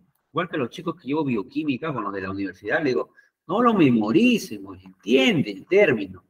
No hay necesidad de estar memorizando, memorizando. Entiende el término. Ley de la uniformidad. ¿Por qué se llama ley de la uniformidad? Porque Mendel, al cruzar dos fórmulas, ve que todas son lo mismo, o sea, son uniformes. Es como si tuvieras gemelos, petuititos, pucha, son lo mismo, mismo color de ojo, pucha, misma talla, mismo color, son gemelos. Ley de la uniformidad, ¿por qué? Porque los cuatro hijos que voy a obtener son gemelos, son uniformes. Entonces, acá no dice Mendel. La primera ley de Mendel es cuando cruzamos dos variedades de individuos, de raza pura, que son homocigotos, pues, de un determinado carácter. Y vemos que todos salen híbridos, o sea, heterocigotos, los cuatro. Por lo tanto, tienen la misma constitución fenotípica, porque expresan el, el alelo dominante y el mismo genotipo. Primera y segunda ley se trabaja con un carácter, chicos. Entonces veamos, profe, ¿qué, es eso? Ya me. Entonces, veamos la P1, que son los padres. Mendel agarró y estudió una característica de esas siete. Nosotros vamos a estudiar esta, ¿ya? Que es la clásica, la de colores. Color de la semilla, y memorízate que el dominante es el amarillo y el recesivo es el verde. ¿Qué hizo este pájaro? Ay, ay, ay, a ver. ¿Qué pasa si yo cruzo una semilla amarilla? Y si es amarilla, ¿qué alelo es? Dominante. Y lo pone homocigoto pamos. ¿No? O sea, homocigoto dominante. Raza pura. ¿Y qué pasa si yo lo cruzo con una semilla que es recesiva, para esa misma característica, que es verde en este caso, si me color la semilla recesiva es verde, y lo ponemos en homocigoto recesivo. A ver, profe, veamos su gameto. Hoy, ¿cuál es el gameto de un homocigoto dominante? Hemos dicho que los homocigotos, los alelos se repiten. Así que acá aplica tu fórmula. 2 a la 0. Pucha, no hay, no hay heterocigoto. 2 a la 0. 1. Pero creo que al ojo sabes que acá el gameto es la A mayúscula. ¿no? ¿Sí se entiende eso? ¿Sí sabes ahora por qué ese es la A mayúscula, ahí? ¿Por qué agarramos eso? Que solamente hay un alelo. Se repite, pe, ¿no? ¿Sí se entiende eso? O ya volaste. ¿Sí se entiende? Hoy. Sí. Sí. Sí, profesor. Ya. Entonces acá tenemos la mayúscula. Y acá la minúscula, pues, ¿no? Entonces, al cruzarlo, obtenemos esta fórmula, que esto es lo más fácil de hacer. Lo más fácil. Pero en pre no hacemos esto, porque decimos, no, esto es muy, muy fácil y nos gusta complicarnos la vida. No, este profe no lo haga, no, eso no hagamos, no hagas, no hagas. Hito, mejor agarra tus dos fórmulas, homocigoto dominante, y haz una tabla, hijo, y, y lo cruzas con tu homocigoto recesivo. Y esta tabla tiene su nombre, una tabla diseñada por Punet, ¿no? La tabla de Punet. Y le dicen en pre que hagan esta vaina. no hay necesidad de hacerlo. Pero ya, pero trabajan así, la tabla de Punet. ¿Y qué tienes que hacer? Una tabla de doble entrada para las A mayúsculas, la A minúscula y cruza. Esto lo haces a tu hermanito de primaria. ¿ves? A mayúscula con A minúscula, acá está. A mayúscula con A, acá está. A mayúscula con A, acá está. Y acá está. Cuatro hijos iguales. O sea, cuatro fórmulas iguales. Ahora, esto no me veas porque esto casi no lo hacen en PRI. Entonces, veamos acá. A ver, a ver, a ver, profe. A ver, a ver. Veamos fórmula por fórmula, profe. Profe, ¿cómo se llama la fórmula donde hay una mayúscula y minúscula? Habla. ¿Cómo se llama la fórmula donde ves que hay una mayúscula y una minúscula? ¿Mocigoto, dominante, mocigoto recesivo o heterocigoto? Heterocigoto. Claro, heterocigoto o híbrido, ¿no? Híbrido. ¿Sería monohíbrido o dihíbrido? Eso.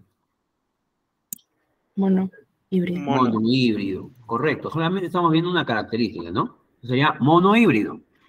Pues acá tenemos cuatro, veo. Un monohíbrido, dos monohíbridos, tres monohíbridos, cuatro monohíbridos. Cuatro heterocigotos o cuatro híbridos o cuatro monohíbridos, ¿no? Acá. Ahora, la proporción que te va a decir tu examen genotípica, ve la fórmula. Ah, ya. Un, hay de esto. ¿Cuántos hay? Uno, dos, tres, cuatro. Hay cuatro. Cuatro de cuatro. O sea que sería el 100%. O sea, el 100% tiene esta fórmula. A mayúscula, A minúscula, mía. ¿Sí o no? Ahí está, ¿ve? Los cuatro, 100%. A mayúscula, A minúscula. Se acabó. Para la primera ley de Mendel, 100%. Ahora, veamos el fenotipo. Hoy,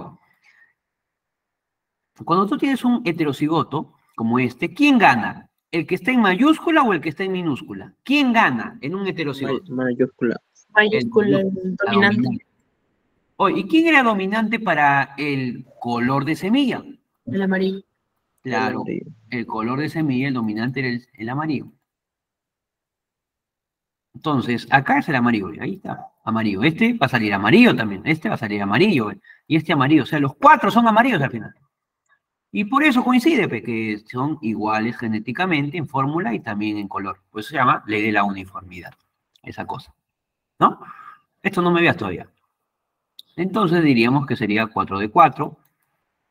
Y acá también 4 de 4, pues, ¿no? Correcto. Entonces ahí obtenemos los cuatro heterocigotos y los cuatro amarillos. Ahora, hoy, mutante. A veces, el examen, como esta semana en la práctica, lo estamos viendo el día viernes, paralelo, no te dice eso. O sea, no te dice que son los colores dominantes y recesivos. Hay un ejercicio en la práctica según que te dice, bueno, al cruzar el color de la semilla, de alberja, amarilla, con verde, ¿cómo serán en este caso los hijos? ¿no? En ningún momento te dice que el color de la semilla amarilla es dominante, ni que el color de la semilla verde es recesiva. No tengas a loquear, ¿ya? Entonces, eso ya lo debes saber tú. Pues te digo, esto memorízalo. Memoriza cuáles son los recesivos y cuáles son los dominantes, porque a veces en el examen no te dice. Y te puede decir, al cruzar un color de semilla verde con un amarillo, ¿qué se obtiene? Y tú puedes decir, ah, ya, verde, verde, verde es mayúscula. No, pues verde no es mayúscula.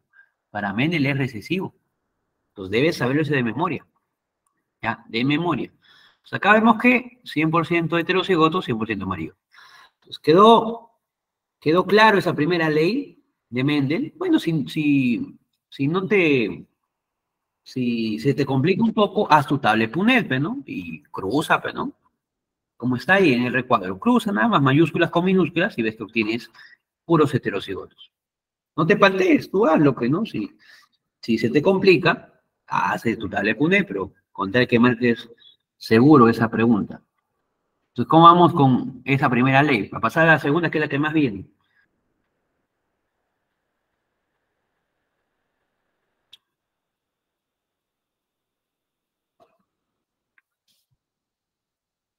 ¿Sí?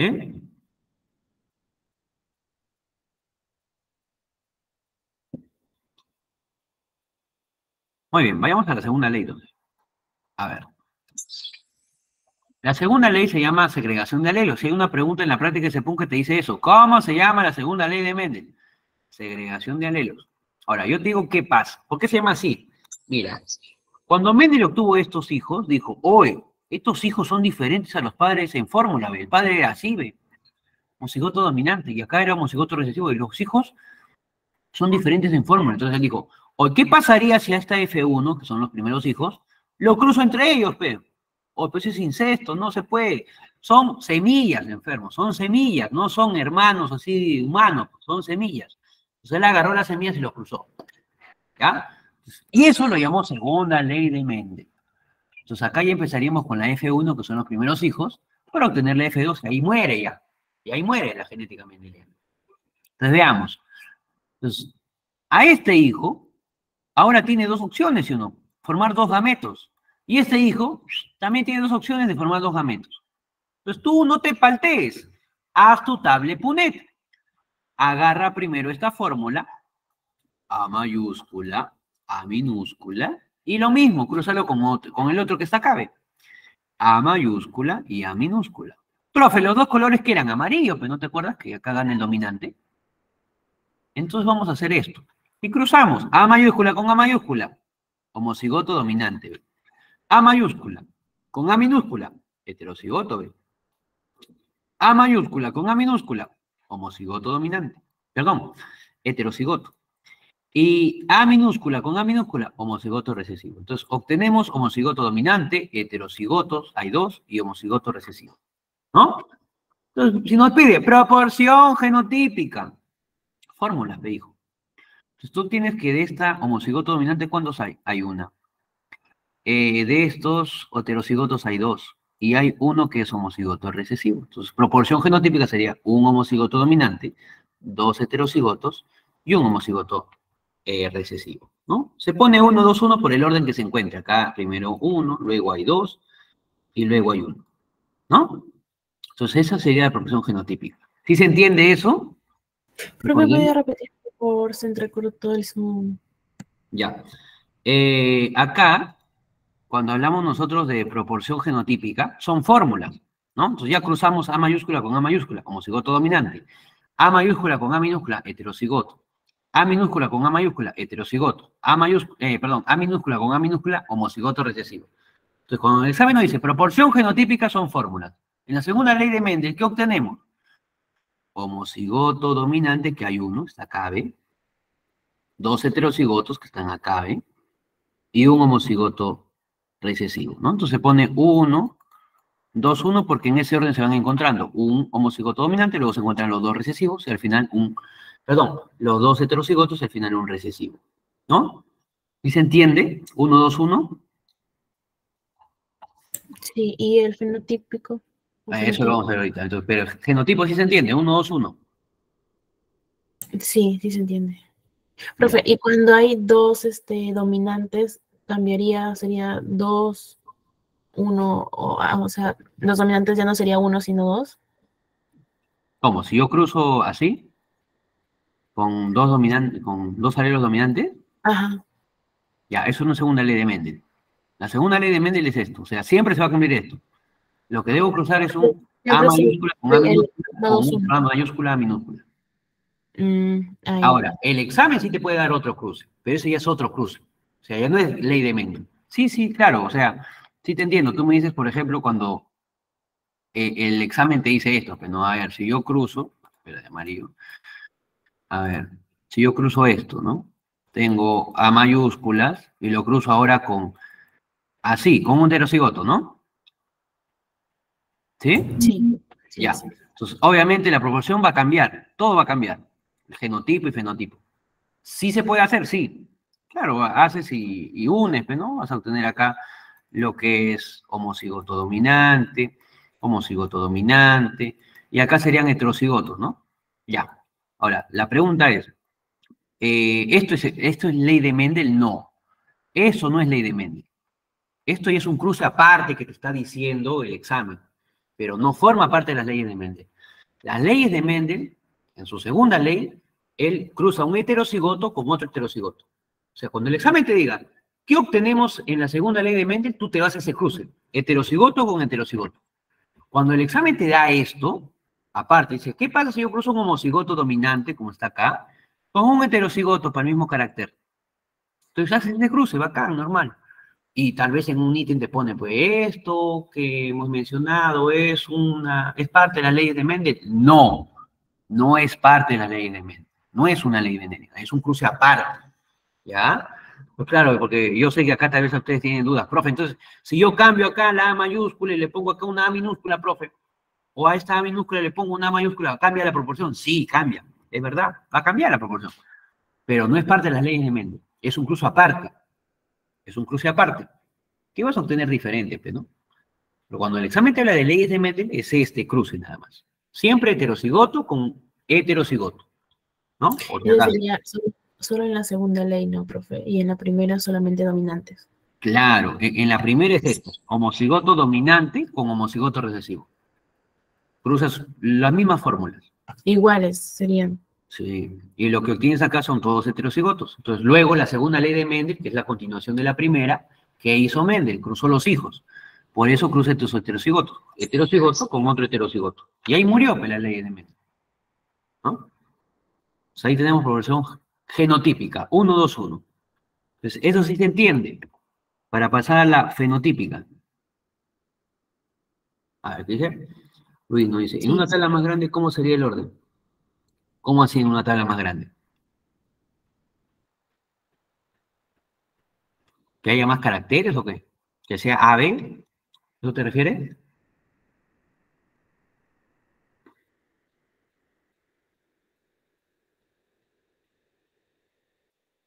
Ah, depende del orden, claro.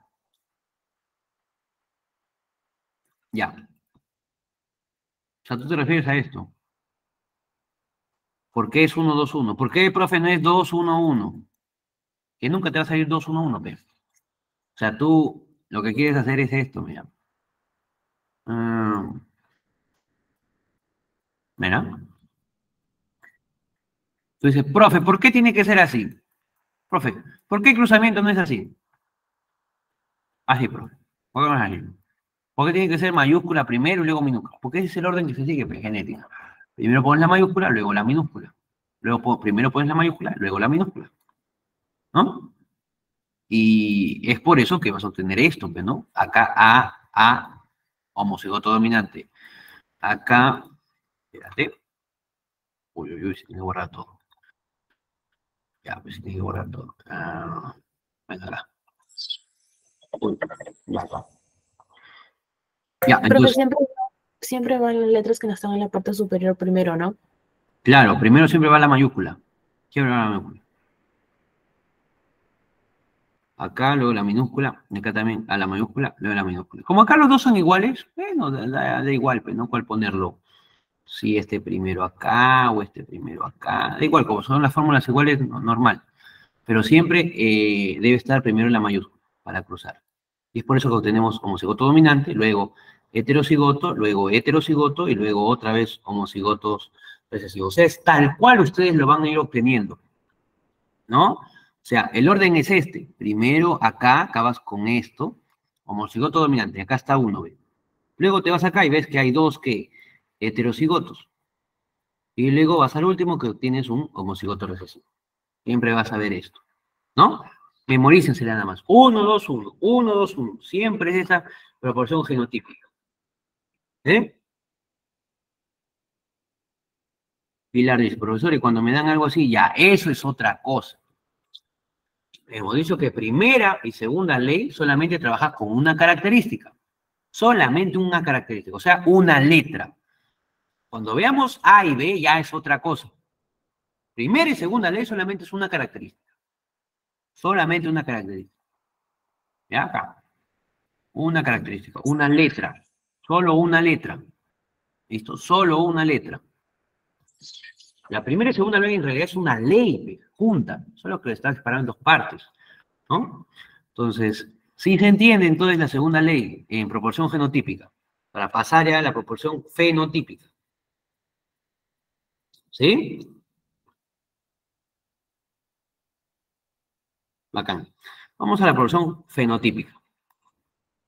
Entonces, la proporción fenotípica nos dice que es 3-1. ¿Por qué, profe, es 3-1? Veamos. Acá, al ser un homocigoto dominante, ¿quién gana? El dominante. ¿Qué color es el dominante? Amarillo, profe. Semilla amarilla, gana amarillo. ¿Quién gana en un heterocigoto? En el heterocigoto, ¿quién gana? El dominante, profe. ¿A quién gana, pero mutante? ¿Otra vez, sí o no? El dominante sería semillas amarillas. Entonces hay tres semillas amarillas. Pero acá son recesivos, pero. Mira, y el recesivo, al ser los dos, no hay otra, ¿no? Gana el recesivo. Entonces, ¿qué color era la semilla recesiva? Verde. Y acá tenemos tres amarillos y un verde. Es por eso que la proporción es 3-1. ¿Listo? ¿Qué sería? ¿Y si fuera inversa? ¿Cómo la inversa? O sea, si ganaría el, el recesivo. ¿Cómo ganaría el recesivo? o, sea, ya no sería 3-1, sino, o sea, ya no ganaría el amarillo, sino el verde. Ya. Y para que gane el verde, ¿cómo sería el cruce? También sería, el verde tendría que ser dominante, ¿no? ¿Cuál? ¿El verde de acá? Claro, ¿o no? No, para que gane B, ah, ya, ¿te refieres cómo debería ser para que gane verde? Ajá, exacto. Ya, para que gane verde, los dos alelos siempre tienen que ser recesivos. Es el único caso que un recesivo se expresa. Como si cruzas un, o sea, tú, por ejemplo, color de cabello, yo quiero que el niño nazca con color de cabello pelirrojo. El único caso que nazca pelirrojo, rubio o algún color de cabello que no sea el negro, que es el general, es que los dos pares tengan el mismo alelo.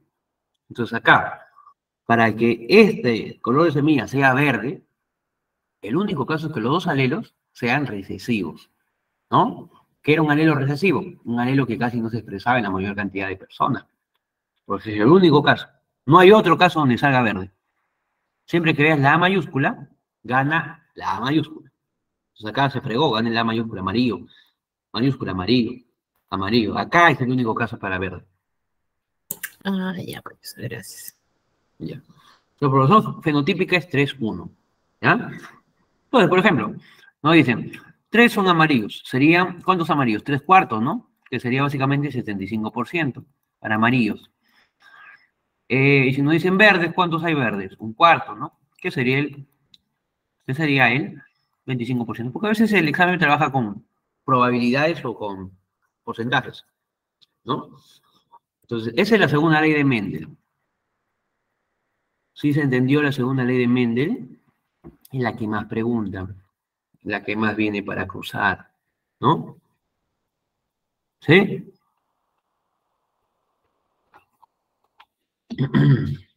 Sí. Bacán. Pues veamos un trucazo. Ya, mira, a ti nada más. A nadie más le digo esto. Solamente a ti, mira. Veamos. La segunda ley de Mendel nació de que Mendel estaba jugando. Mira, ustedes saben que X más Y es un binomio, ¿no? Cuando lo llevamos al cuadrado. Eh, matemáticamente es X al cuadrado más 2XY, ¿no? Más Y al cuadrado, ¿sí o no? ¿Sí o no? Así, jugando, lo sacó Mendel la segunda ley de Mendel. Porque estos son los coeficientes, ¿sí o no? Cuando tú haces X más Y al cuadrado, obtienes x cuadrado más 2xy más y cuadrado, ¿no? ¿Sí? Eso sí queda claro, es matemática, binomio de Newton. Binomio de Newton. Habla. ¿Sí? Ya volaste. Volé, profe, volé. Profe, volé. Ya, bacán. Ya, estos son los coeficientes. P1, que no lo pones, 2 y 1. Bacán. Así lo hizo Mendel dijo, oye, ¿qué pasaría si yo cruzo dos alelos? Uno dominante y uno recesivo. A ver, veamos qué pasa. Voy a obtener que dos alelos se repiten, ¿no? Profe, ¿qué? ¿Este es x cuadrado? Claro, pues, x por x o no. Y este es y cuadrado, eh, y por y, pues, ¿o no? ¿O volaste? No, no. Eh, y acá, profe, sería mayúscula, minúscula, y acá sería a, a minúscula, minúscula. Claro. ¿Y cómo serían los coeficientes? Porque igual P1, 2, 1. ¡Ah! Profe, eso es la proporción genotípica, ¿ve? Un homocigoto dominante, dos heterocigotos y un homocigoto recesivo, ¿ve? Lo que te daba la proporción genotípica. Uno, homocigoto dominante, dos heterocigotos y un homocigoto recesivo. Proporción genotípica. Así lo saco la proporción genotípica, Con el binomio Newton. ¿No? ¿Y cómo lo sacó la fenotípica? Ah, ya, pues se suma. Ves que los dos tienen, en este caso, dominante, 1 más 2 son 3. Y acá 1, no me quedaría 3, 1. Por eso la proporción es 1, 2, 1 y 3, 1. ¿no? 1, 2, 1 y 3, 1 para fenotipo. Tendría más fácil que el, que el cuadro, ¿no? Claro, por si te olvidas en el examen. A mayúscula más A minúscula al cuadrado y lo sacas 1, 2, 1. Más fácil. Es para que no te olvides el orden que es 1, 2, 1. Por si en el examen pone 2.11. No, pues 1, 2, 1. ¿Ya? ¿Se entendió? ¿Ah?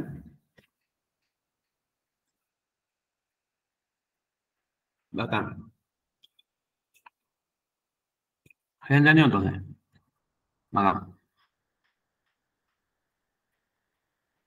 A ver.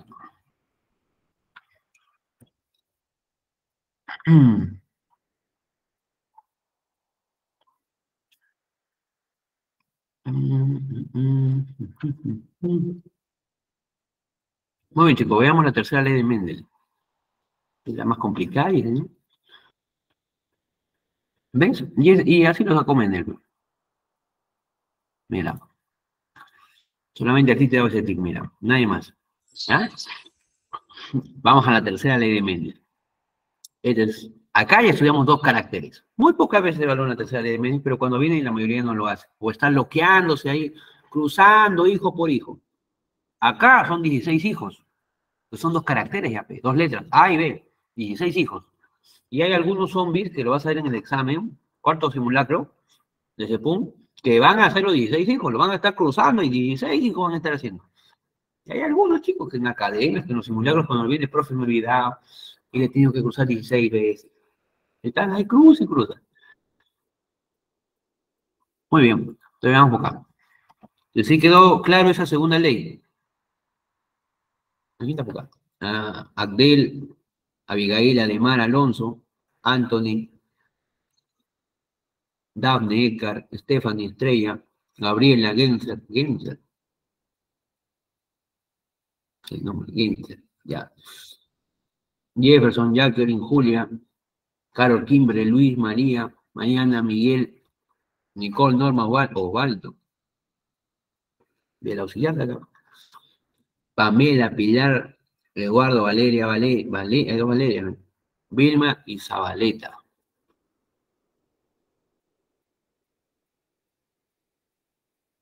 Muy bien.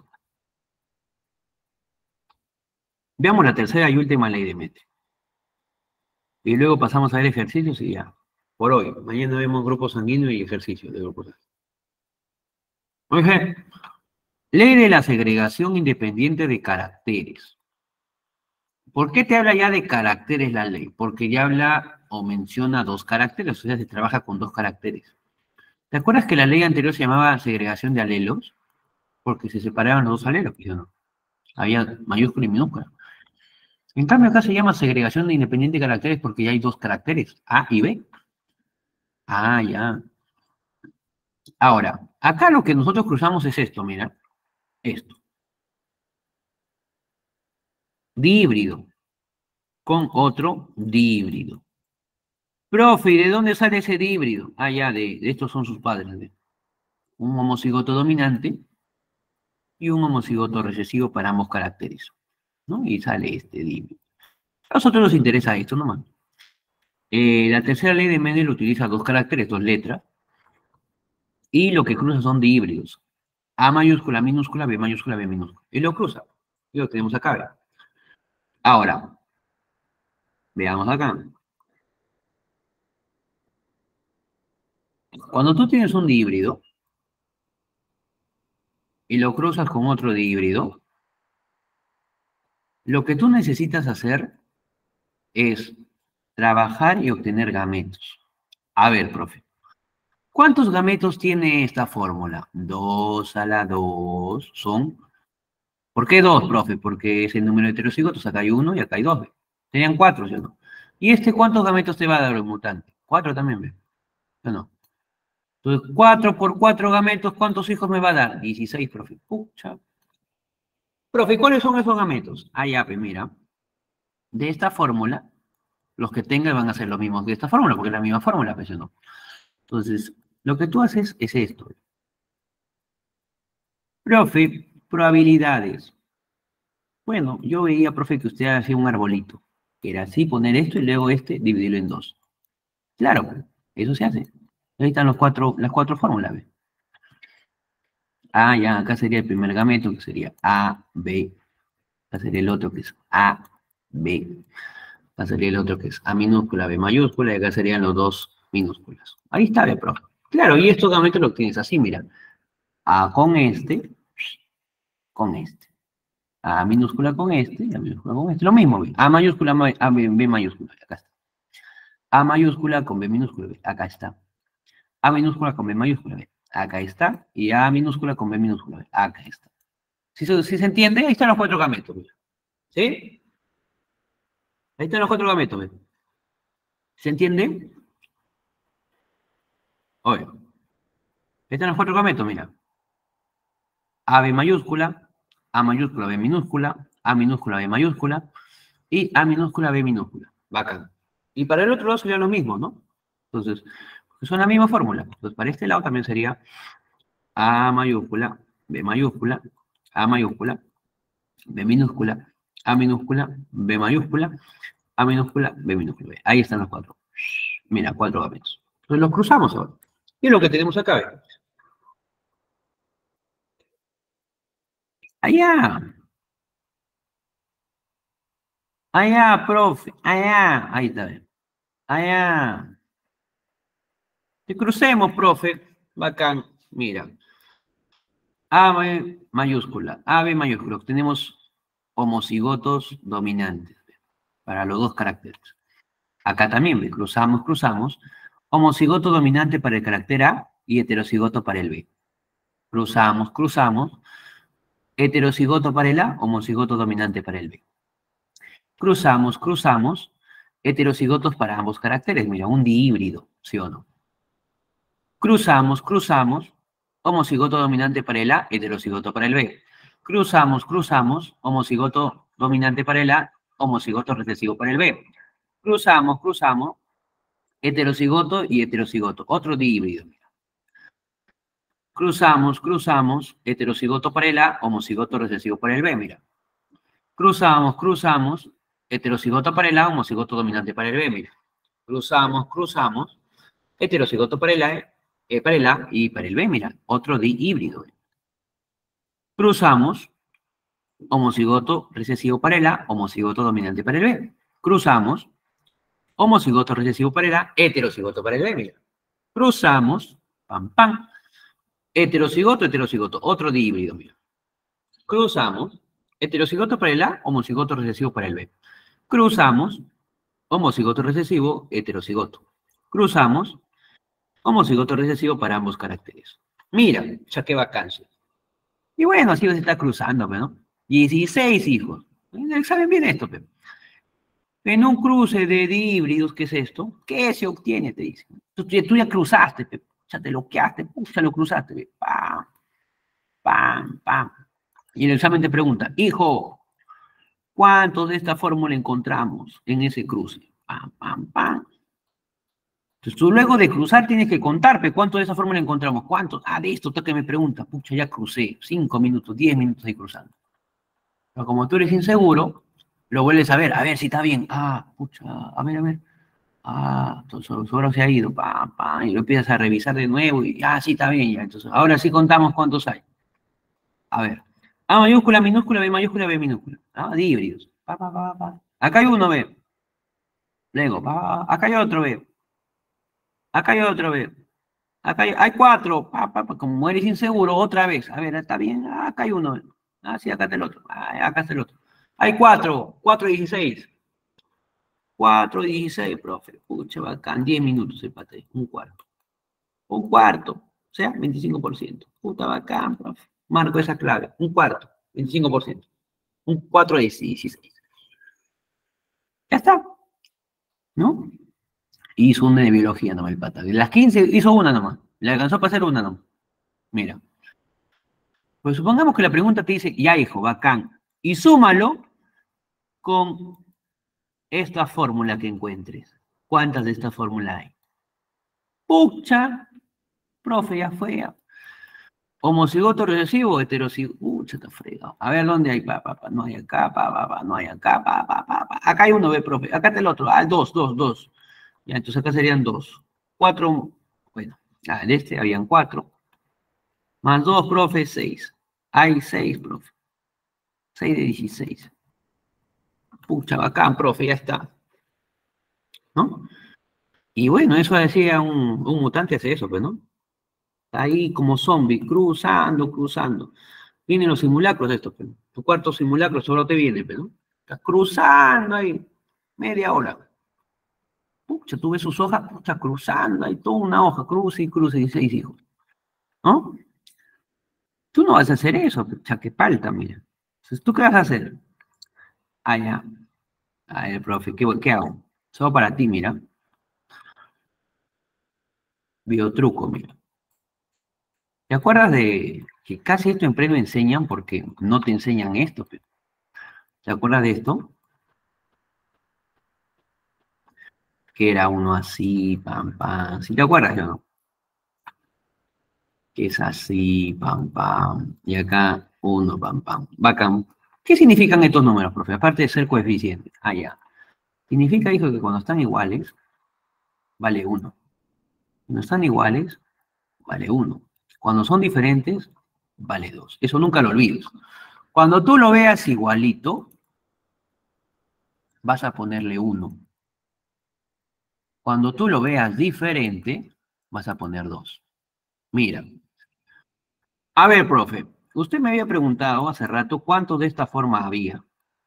Cuando yo cruzaba e-, esto, cuando yo cruzaba esto, yo tenía 16 hijos, profe. 16 hijos, pero escucha, mi pata que ahí cruza. Y usted me pregunta, hijo, ¿cuántos hay de esta forma? Ah, ahí está. ¿Cuántos? Profe, habían cuatro, profe, yo sí, pero en lugar de estar cruzando, dices, ah, ya, e, este es diferente, dos.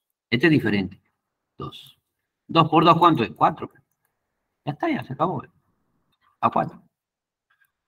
Profe, pero también usted me preguntó, también usted, profe, me preguntó de esto. ¿Cuántos de estos había? Y habían dos, profe, yo lo vi. Ah, claro. Pues. Entonces, tú en lugar de estar cruzando, dices, son iguales, ¿cuánto vale? Uno. Y multiplico esto cuando son diferentes, ¿cuánto? Dos. Allá. Cada vez que vea diferente, vale dos. ¿Cuántos hay? Dos. Y cuatro más dos, ¿cuánto era? Seis. Y se acabó, mira, un minuto, menos de un minuto incluso.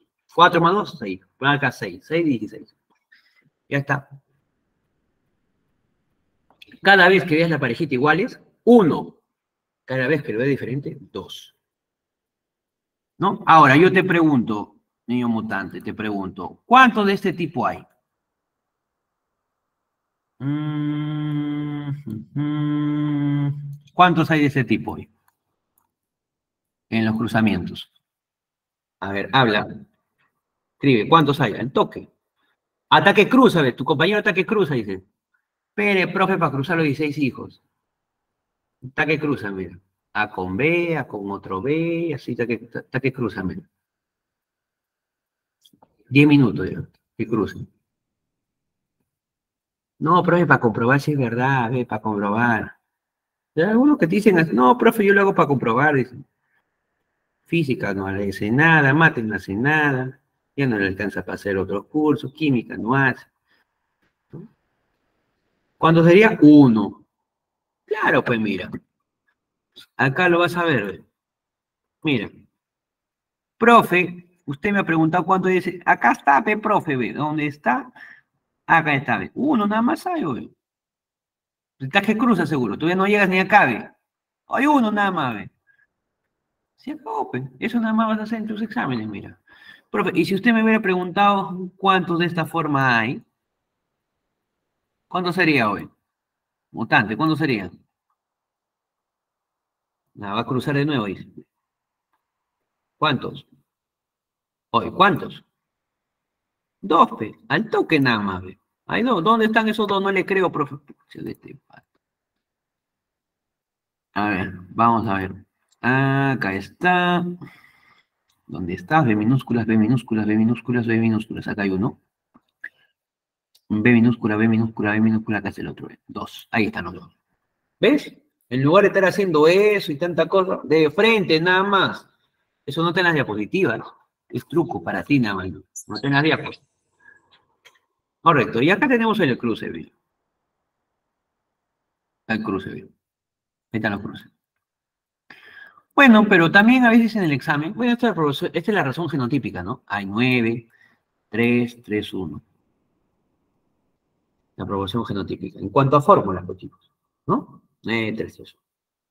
Eh, o sea, la razón genotípica es esta. Las fórmulas diferentes. 1, 2, 2, 4. 1, 2, 2. Ya, eso es la razón genotípica. ¿Ya? Ahora, yo te recomiendo que esto no lo memorices, porque este el examen no te va a decir, hoy ¿cuál es la razón genotípica? Vas a decir 1, 2, 2, 4, 1, 2, 1, 2, 1. No, pues es muy largo, no, no lo memorices. ¿Qué vas a memorizar? El número de fórmulas diferentes que hay hay una, hay dos, hay tres, hay cuatro, hay cinco, hay seis, hay siete, hay ocho y hay nueve.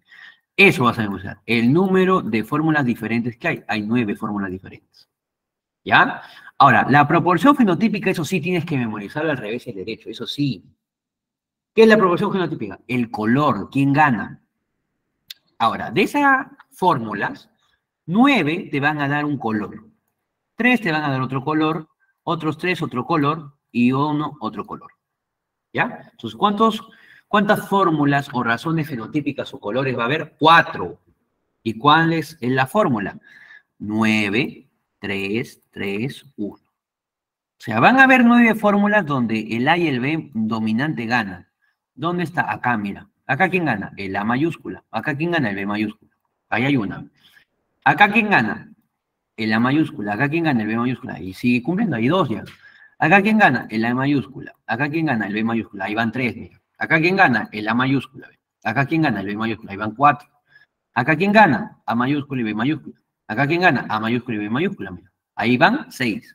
Acá también, acá también y acá también. Son nueve. Ahí están los nueve donde gana el A y el B mayúscula. Entonces, de esa proporción fenotípica, vamos a ver que va a ganar el color dominante para ambos, ¿no? Y luego, veamos al otro, donde gana solamente la mayúscula. Acá está, mira.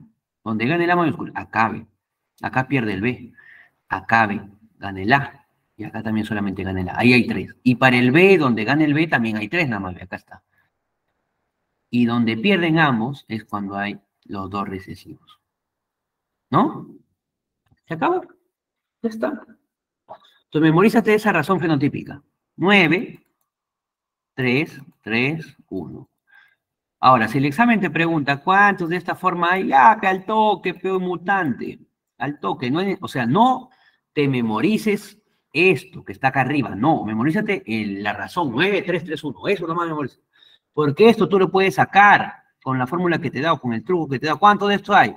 Igual 1, igual 1, 1 por 1, 1, ¿no? Eso, eso tú lo puedes sacar, eso, no lo memorices. Memorízate la razón, que es 9, 3, 3, 1.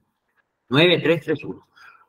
¿Y cuántas fórmulas genotípicas diferentes hay? Hay nueve. Nueve, mira, ya sabemos. Pero eso no te van a preguntar el examen. Y si que te preguntan, lo sacas con la fórmula que te he dado. Dice, hijo, ¿cuántos de esta fórmula hay? Diferente, 2, 2. Ah, 4, 16. ¿Cuántos de estos hay? Allá, fórmula diferente, 2, igual, 2, 1, 2, 16. Eso no hay necesidad de memorizarlo, por eso te digo, no lo memorices, solamente entiende que hay nueve fórmulas diferentes genotípicamente y que la razón fenotípica es 9, 3, 3, 1. El otro lo puedes sacar con el truco que te he dado. No seas tan mutante de estar haciendo cruce por cruce. No hagas eso. No hagas eso. ¿Ya? Muy bien. Entonces, ¿sí se entendió, chicos? Esa es la tercera ley de Mendel, que es la más tranca. Que es la más tranca, mira. ¿Sí? ¿Sí? ir a ver ejercicios de la práctica de punto. Sí, entonces. O están que duermen.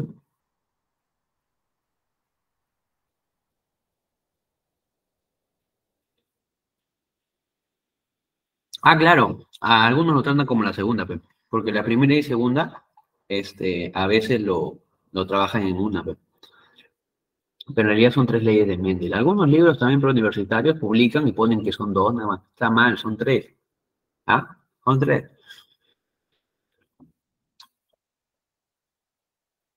Ahora, para que lo trabajes como segunda, lo trabajes como segunda, te tiene que dar el examen eso. Que la segunda ley de Mendel, según esto, eh, y dos letras diferentes. ¿No? Pero ustedes fíjense lo que dice acá la teoría. Primera, segunda ley de Mendel y tercera ley de Mendel. Eso es lo que se trabaja. Pero hay algunos libros que sí lo trabajan mal. ¿No? El otro mes que sale el módulo 3, que es de esto, y lo van a ver acá. Muy bien, desde ahí tenemos. ¿Sí, todo bien? ¿Todos, todos están bien entonces? No, en los ejercicios no te dicen qué leyes son. En los ejercicios generalmente no, o sea, en la teoría a veces te preguntan las leyes de mente, pero los ejercicios que te da el examen a veces no son leyes de Mendel, pero no te dice aplicando la ley de Mendel, pero no, a veces no son leyes de Mendel, ¿no? Eh, cuando te preguntan por teoría, ahí sí. Claro, ahí tienes que ver cuál de las tres es. Pero eso es que si es que te preguntan por teoría, pues, ¿no? Te preguntan por teoría. Pero luego ya no, pero. Pues. Muy bien, entonces pasemos a ver los ejercicios de, de CEPUM. Todo bien entonces hoy, lo, todo. Quiero ver que todos hayan quedado claro. Son cuatro puntos que no puedes regalar. O ocho puntazos, ¿no? Que no puedes regalar, dependiendo de cuántas preguntas hayan. Ya, acá, veamos. Mm. Ya, por acá creo que está.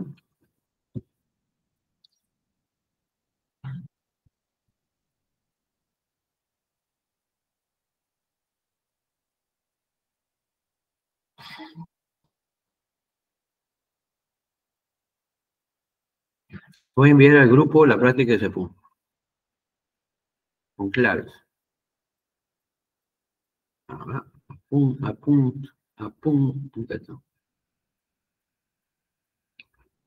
Ya está, ya está. Vamos a abrir la práctica. Y a ver por qué es esa clave.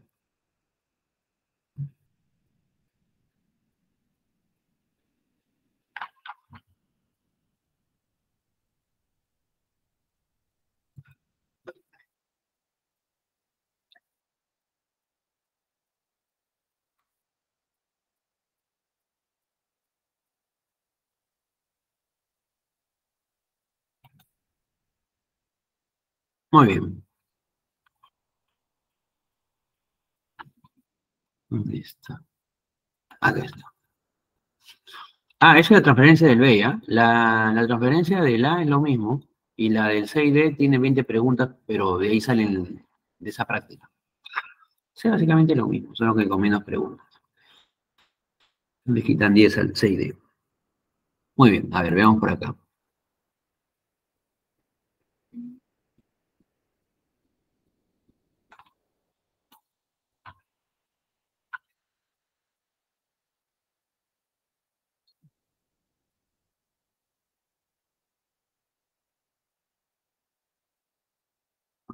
Por acá me parece que está.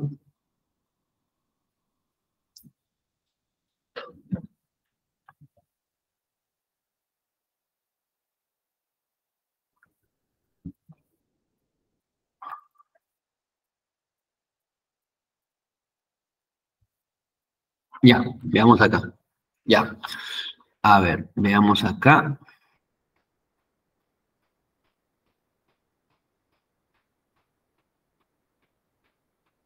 ¿A partir de qué pregunta? De la 10 es. Ya, hasta la 18. Esas dos vamos a ver hoy día.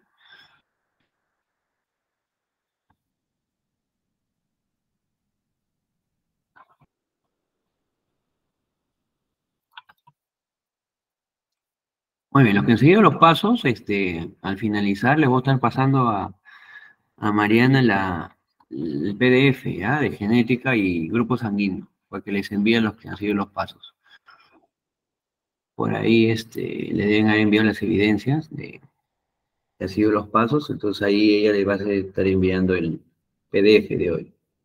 Y el de mañana, que es de grupo sanguíneo. Junto con la práctica que ahorita la voy a rayar. ¿Ya? Entonces veamos a ver la pregunta 9, que es donde empieza. Esto es más que todo genética molecular, cuando veamos ese tema ahí lo vamos a tratar mejor. 9. Un gen es una porción de ADN, ¿ya? En cambio, los cromosomas resultan de la condensación de la cromatina, que son ADN más histonas. Durante la división celular es considerada como lugar o posición física que ocupa un gen. Ya, pues eso se llama locus, ¿no, chicos? Recordemos que la posición donde encontramos a un gen, un alelo, viene a ser el locus. A ver, la siguiente. Un individuo es cuando tiene los genes del mismo locus. Eh, los cromosomas homólogos, ¿no? Idénticos o iguales. ¿Cómo se llamaba eso? Homocigoto, ¿no? Al cruzar dos líneas procedentes de la primera generación, eh, los individuos que obtuvieron la aprobación fenotípica 3.1. Entonces, cuando dice dos líneas procedentes de la primera generación, en la primera generación, ¿qué obtenías hoy? ¿Qué fórmula obtenías en la primera generación? ¿Cómo se llamaba? ¿Homocigoto dominante, recesivo o heterocigoto? te leo, habla. ¿Cómo se llama? Lo que obteníamos en la primera generación. ¿Sí? Todos lo tienen claro, es heterocigoto, ¿no? ¿Sí? ¿Lo tienen claro todos? ¿Sí? Bacán. Entonces, es un heterocigoto. Y cuando todos esos heterocigotos lo cruzabas entre ellos, obtenías esa proporción fenotípica que es 3 1. Porque acá era un homocigoto dominante. Ahí.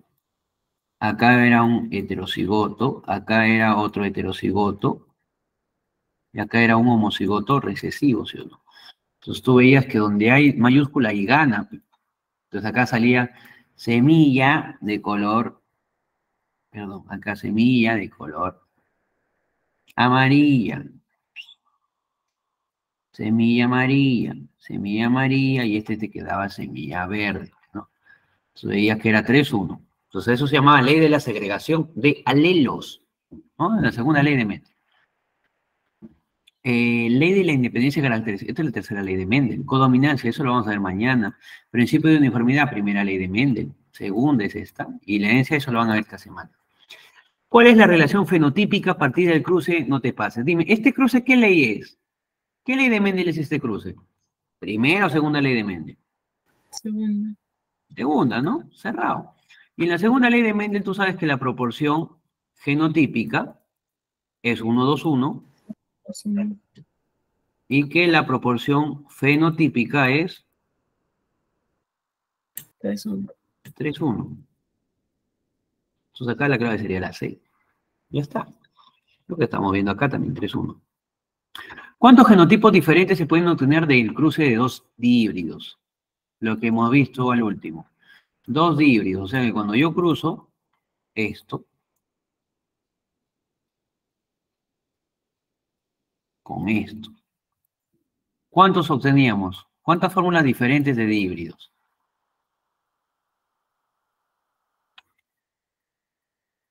Profe, y si del examen me olvido, profe, ¿cómo lo hago? O sea, que tengo que cruzar los 16 hijos. No. Pero teóricamente, ¿cuántos son? Hemos dicho, ¿cuántos? Son nueve, profe, ahí está en la clave, nueve ya. Profe, ¿qué pasa si yo en el examen ya me olvido? ¿Qué pasa, profe? Mira, solo para ti, trucazo. Mira, si en el examen tú te olvidas, lo que vas a hacer es cruzar. Sí, vas a tener que cruzar, está fregado. Pero cruzar esto con esto, letra con letra. A con A y B con B y B con B. Entonces vas a cruzar y ver cuántos heteros, bueno, cuántas fórmulas diferentes obtienes. Cuando tú cruzas A mayúscula con A minúscula con otra A mayúscula, A minúscula, ¿cuántas fórmulas diferentes obtienes? Hay una, acá hay otra fórmula diferente y acá hay otra fórmula. ¿Cuántas serían? ¿Cuántas? Hoy, ¿cuántas? ¿Cuántas? Cuando yo cruzo esto con esto, profe, yo veo que obtengo genotipos diferentes, nueve. Ahora haz lo mismo para el B. Oye, pero, es lo mismo. Claro, que es lo mismo, solo con otra letra. Entonces vas a obtener cuántos hoy. Perdón, acá son tres. Laxus, tres. Profe, es lo mismo. Claro, es lo mismo. ¿Cuántos genotipos diferentes serían? Tricky. ¿Y qué voy a hacer, profe? Multiplicar. Ah, ya. 3 por 3, ¿cuánto es, profe? 9. Y están los 9. En lugar de estar cruzando ahí 16 hijos, 9 nomás. Es que te olvidas, pero no cruzas el A con el A y ya por genética de Mendel sabes que ahí se tiene homocigoto dominante, dos heterocigotos y un homocigoto recesivo, que serían tres fórmulas diferentes. ¿no? Que serían 9 serían nueve. ¿Sí? ¿Sí se entiende eso? Hoy, ¿sí? Bacán, entonces ahí la clave sería la E. Vamos a la 14. El material biológico de Mendel fue el Pisum sativum. Chícharo guisante, en el siguiente cruzamiento, una planta de vaina de color homocigota, verde, se cruza con otra de vaina amarilla. Hoy, hoy, hoy, veamos, mira. Profe, veamos, profe. Profe, me dice que una vaina de color verde homocigota. Oye, ¿el color, vaina, ¿el color verde de la vaina es dominante o es recesivo? Recesivo. El color verde de la vaina, la vaina es la envoltura.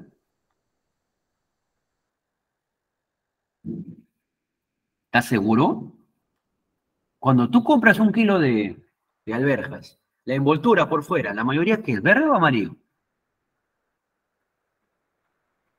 Verde. Entonces es dominante. pues. Por eso te dije, no te confundas el color de la semilla con el color de la envoltura. Entonces, el color de la envoltura es verde y ahí es dominante, o sea que el color dominante es que se... Este, pucha, mira, te lo voy a hacer así para que entiendas. Verde, ¿ya? Verde, que verde viendo. Entonces sería un homocigoto dominante el verde. Mientras que el color amarillito sería el color recesivo para vaina.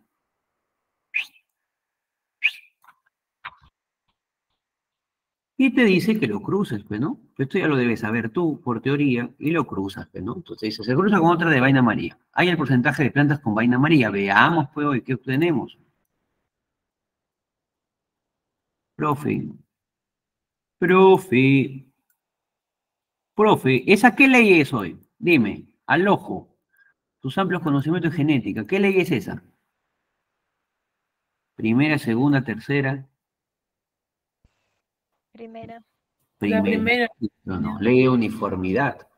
Correcto. Ahora, ¿qué color obtenemos en este primer? Cuatro heterocigotos. En este color, ¿qué, qué fórmula? En esta fórmula que es un heterocigoto, ¿quién gana? ¿Verde o amarillo? Verde. Verde. Acá verde. Los dominantes. tipo verde y verde. Todos son verdes. Así que no dice, ¿hay el porcentaje de plantas con vaina amarilla? Ninguno. Pues sería cero, pues, ¿no? Por eso es cero.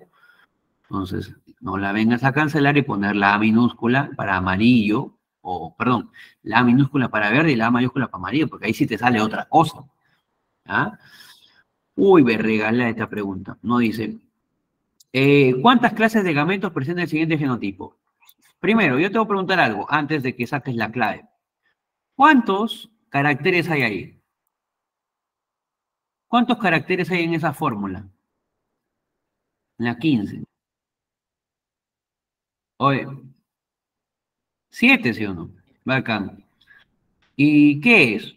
Un dihíbrido, trihíbrido, tetrahíbrido, pentahíbrido, hectahíbrido. ¿Qué es? Cuenta cuántos híbridos hay. ¿Cuántos híbridos hay? ¿Siete? ¿Los siete son híbridos? Me he dicho que hay siete.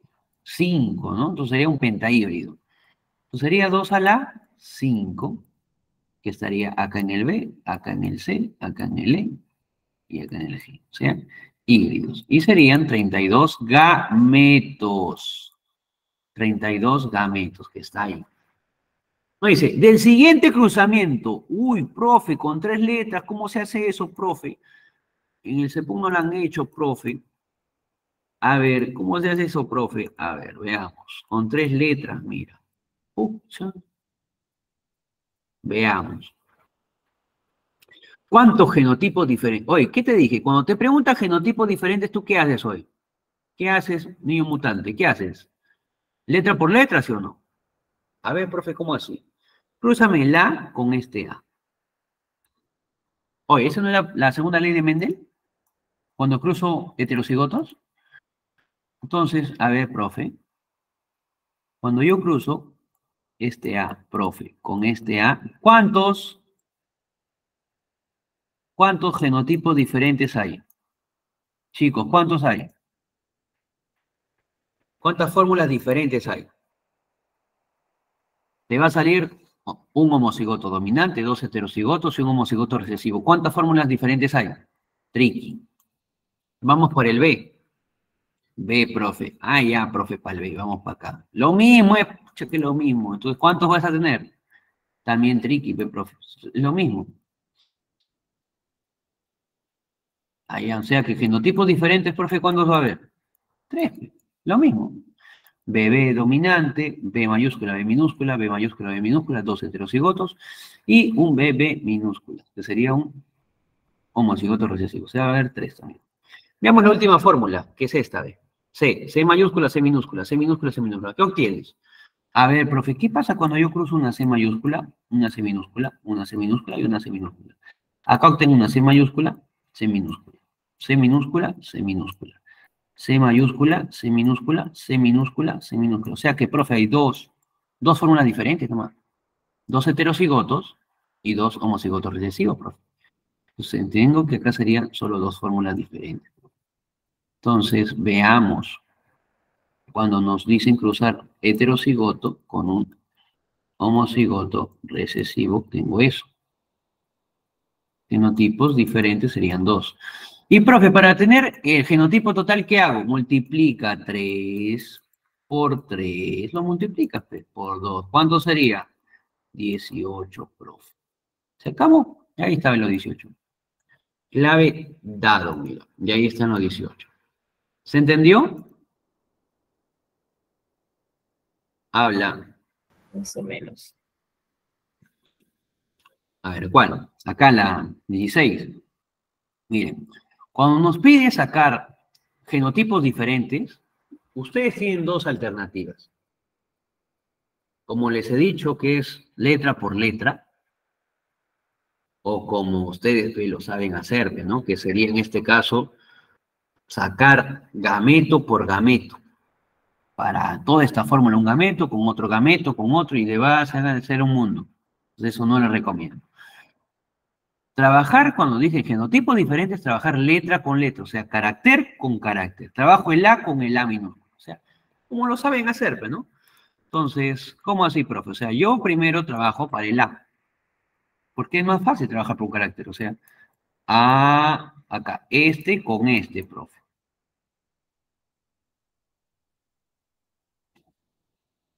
Pero eso te hace acordar a la primera ley, a la segunda ley de Mendel, lo que acaba de hacer homocigoto dominante, heterocigoto, heterocigoto y homocigoto recesivo. ¿Sí? ¿Esto sí se entiende?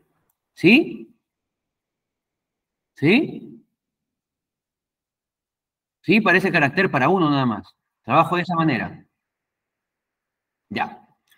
Entonces, lo que tú quieres buscar es esto, esto es la pregunta. ¿Cuántos genotipos diferentes hay? Para sacar el número total de genotipos diferentes, primero tengo que ir que en este carácter, ¿cuántos hay? A ver, hay una fórmula, acá hay otra fórmula y acá hay otra. O sea, hay tres fórmulas diferentes. Estas se repiten. Entonces, yo sé que para el primer carácter, que es el A, hay cuántos genotipos diferentes. Hay tres. ¿Listo? ¿Sí se entiende eso? Que hay tres genotipos diferentes para ese primer carácter. ¿Sí? Habla. Sí se entiende que hay tres genotipos diferentes para el carácter 1. Entonces, profe, ahora vayamos con el carácter 2, que es el BP. Y si tú te das cuenta, te ganas, es lo mismo, la misma fórmula, solo cambio de letra. B minúscula, B mayúscula, B mayúscula, B minúscula. Cruzamos, homocigoto dominante, heterocigoto, heterocigoto, homocigoto recesivo. Dime, ¿cuántas fórmulas diferentes hay? Tricky también, profe. Entonces, que la, eh, los genotipos, los genotipos diferentes van a ser tres también. Si se entiende que para el segundo carácter hay tres genotipos diferentes, o sea, tres fórmulas diferentes. Habla. ¿Sí? ¿Sí? Cuando viene eso, la mayoría no lo hace. Sí, tres. Acá. Mazo, ¿por qué?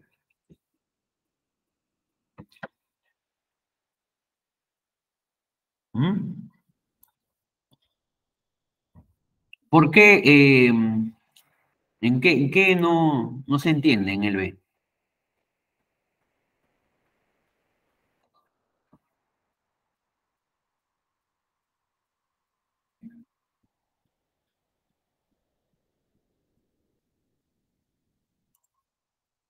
Para el B es lo mismo que para el A. Cruzas B mayúscula con B mayúscula, homocigoto dominante. B mayúscula con B minúscula, heterocigoto. B mayúscula con B minúscula, heterocigoto. B minúscula con B minúscula, homocigoto recesivo. La pregunta es genotipos diferentes. Acá tengo que ver cuántos genotipos hay para el carácter B. Acá veo una fórmula igual. Acá veo otra fórmula, otra fórmula. Entonces veo que hay una fórmula que es así. Veo que hay dos fórmulas que son así. Y veo que hay una fórmula que es así. Entonces, ¿cuántas fórmulas diferentes hay? Tres, porque el genotipo es básicamente la fórmula. Entonces te pregunta, ¿cuántos genotipos hay? Diferentes. Para el B, ¿cuántos hay? Hay tres. Si se entiende eso, que para el B hay tres, y para el A también había tres, ¿no? ¿Sí?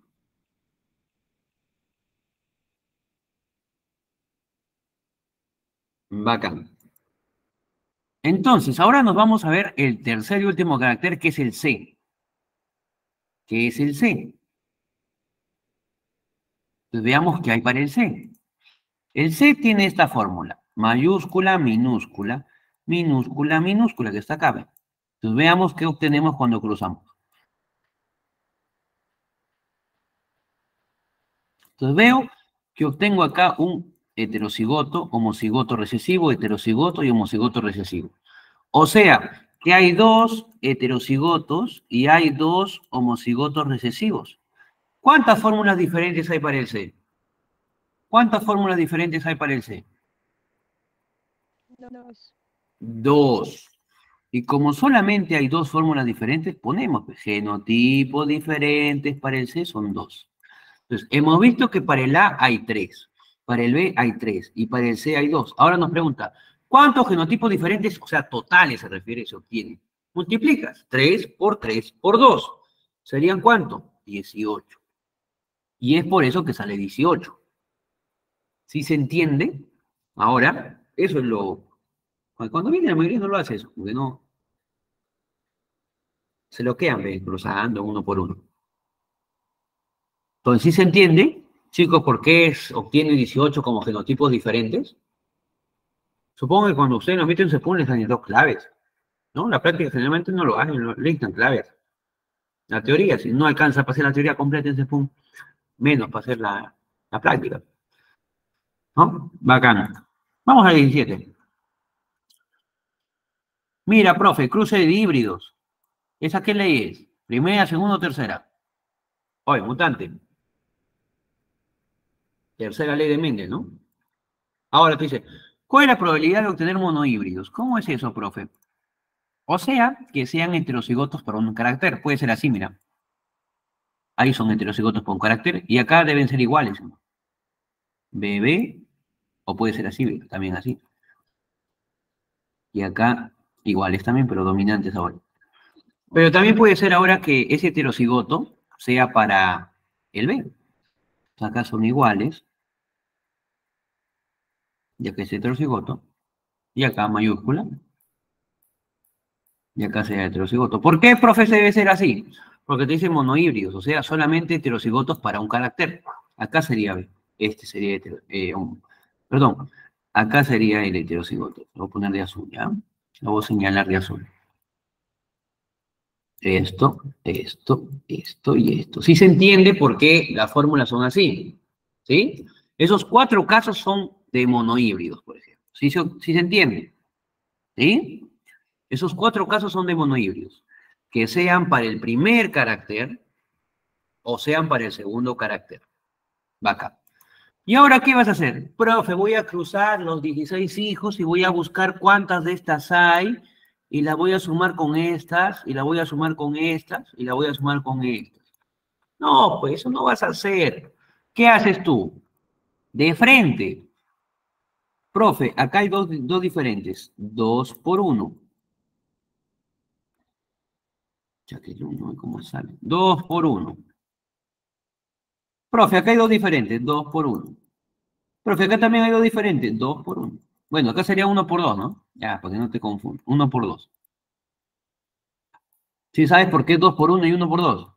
Cuando son iguales vale uno, cuando son diferentes vale dos. Dos, profe. Todos me dan dos, profe. Claro, todos me dan dos, profe. y 2, profe. ¿Cuánto sería, profe, en total?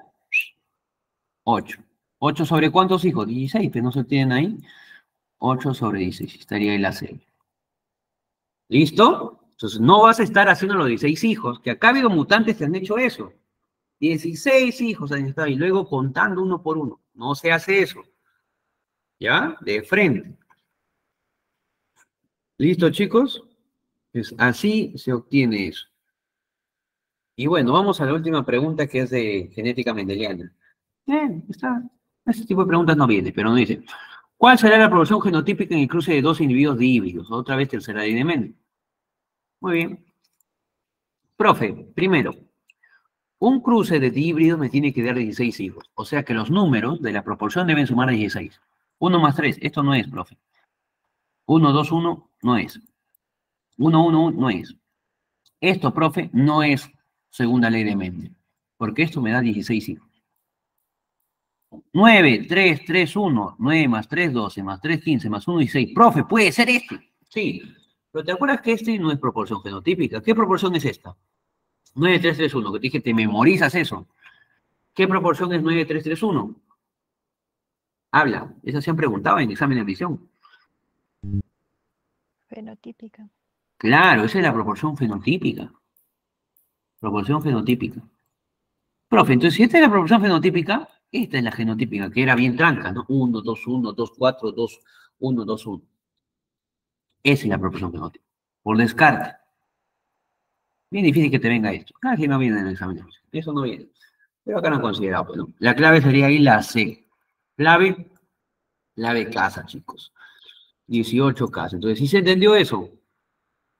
¿Sí se entendió la 18? ¿Por qué sale eso? Es verdad, es más memorístico. Pero como yo te digo, no te estar memorizando 1, 2, 1, 2, 4, 2, 1, 2, 1. ¿No? Mejor sumas. Muy bien. Y ahí tenemos esas preguntas de genética mendeliana. Lo que viene, me parece, a partir de adelante es solamente... Ah, ve, acá hay uno. Es genética de grupos sanguíneos, ¿no? Ah, acá hay ve. Dice, la genética es una rama... Mmm, ah, ya, acá mezcla B, todavía, eso todavía. A ver, vamos acá. Si se enfrentan dos individuos de la F1 monohíbrida, o sea que son así, ¿te acuerdas? Primera ley de Mendel, eso se obtenía. Eh, y los cruzamos en la segunda ley, ¿sí o no? Entonces dice, presenta genotipo homocigoto dominante. Ya, pe chicos. Cuando yo hacía ese cruce, ¿qué obtenía? Un homocigoto dominante, heterocigotos que habían dos, y homocigotos recesivos. Se está preguntando básicamente por genotipo homocigoto dominante, que sería uno de cuatro. ¿Cuánto es eso? 25%, pero ¿no? Ahí está, la clave es la C. Está bien. A ver, me dice acá. En el laboratorio de genética de la Facultad de Ciencias Biológicas se realiza el cruzamiento de un cobayo de color negro de carácter homocigoto, ahí te dice. Tú pones esto, homocigoto de color negro. Dominante va a ser la A mayúscula. Recesivo va a ser mi A minúscula. Acá me dice que este cobayo es de color negro. O sea, el negro es dominante acá. Negro. Supongo que el blanco va a ser recesivo, ¿no? Recesivo es blanco. Acá es blanco. Bacán. Profe, me dice que es un cobayo de color negro. Entonces veamos acá que sea A mayúscula. A mayúscula. Y con uno que sea recesivo. Profe, ¿por qué lo pone recesivo, homocigoto recesivo? Porque dice que es blanco, pero el único caso para que sea blanco es que los dos sean recesivos. Entonces crucemos, crucemos, obtengo puro heterocigoto. ¿Qué ley es esa de Mendel?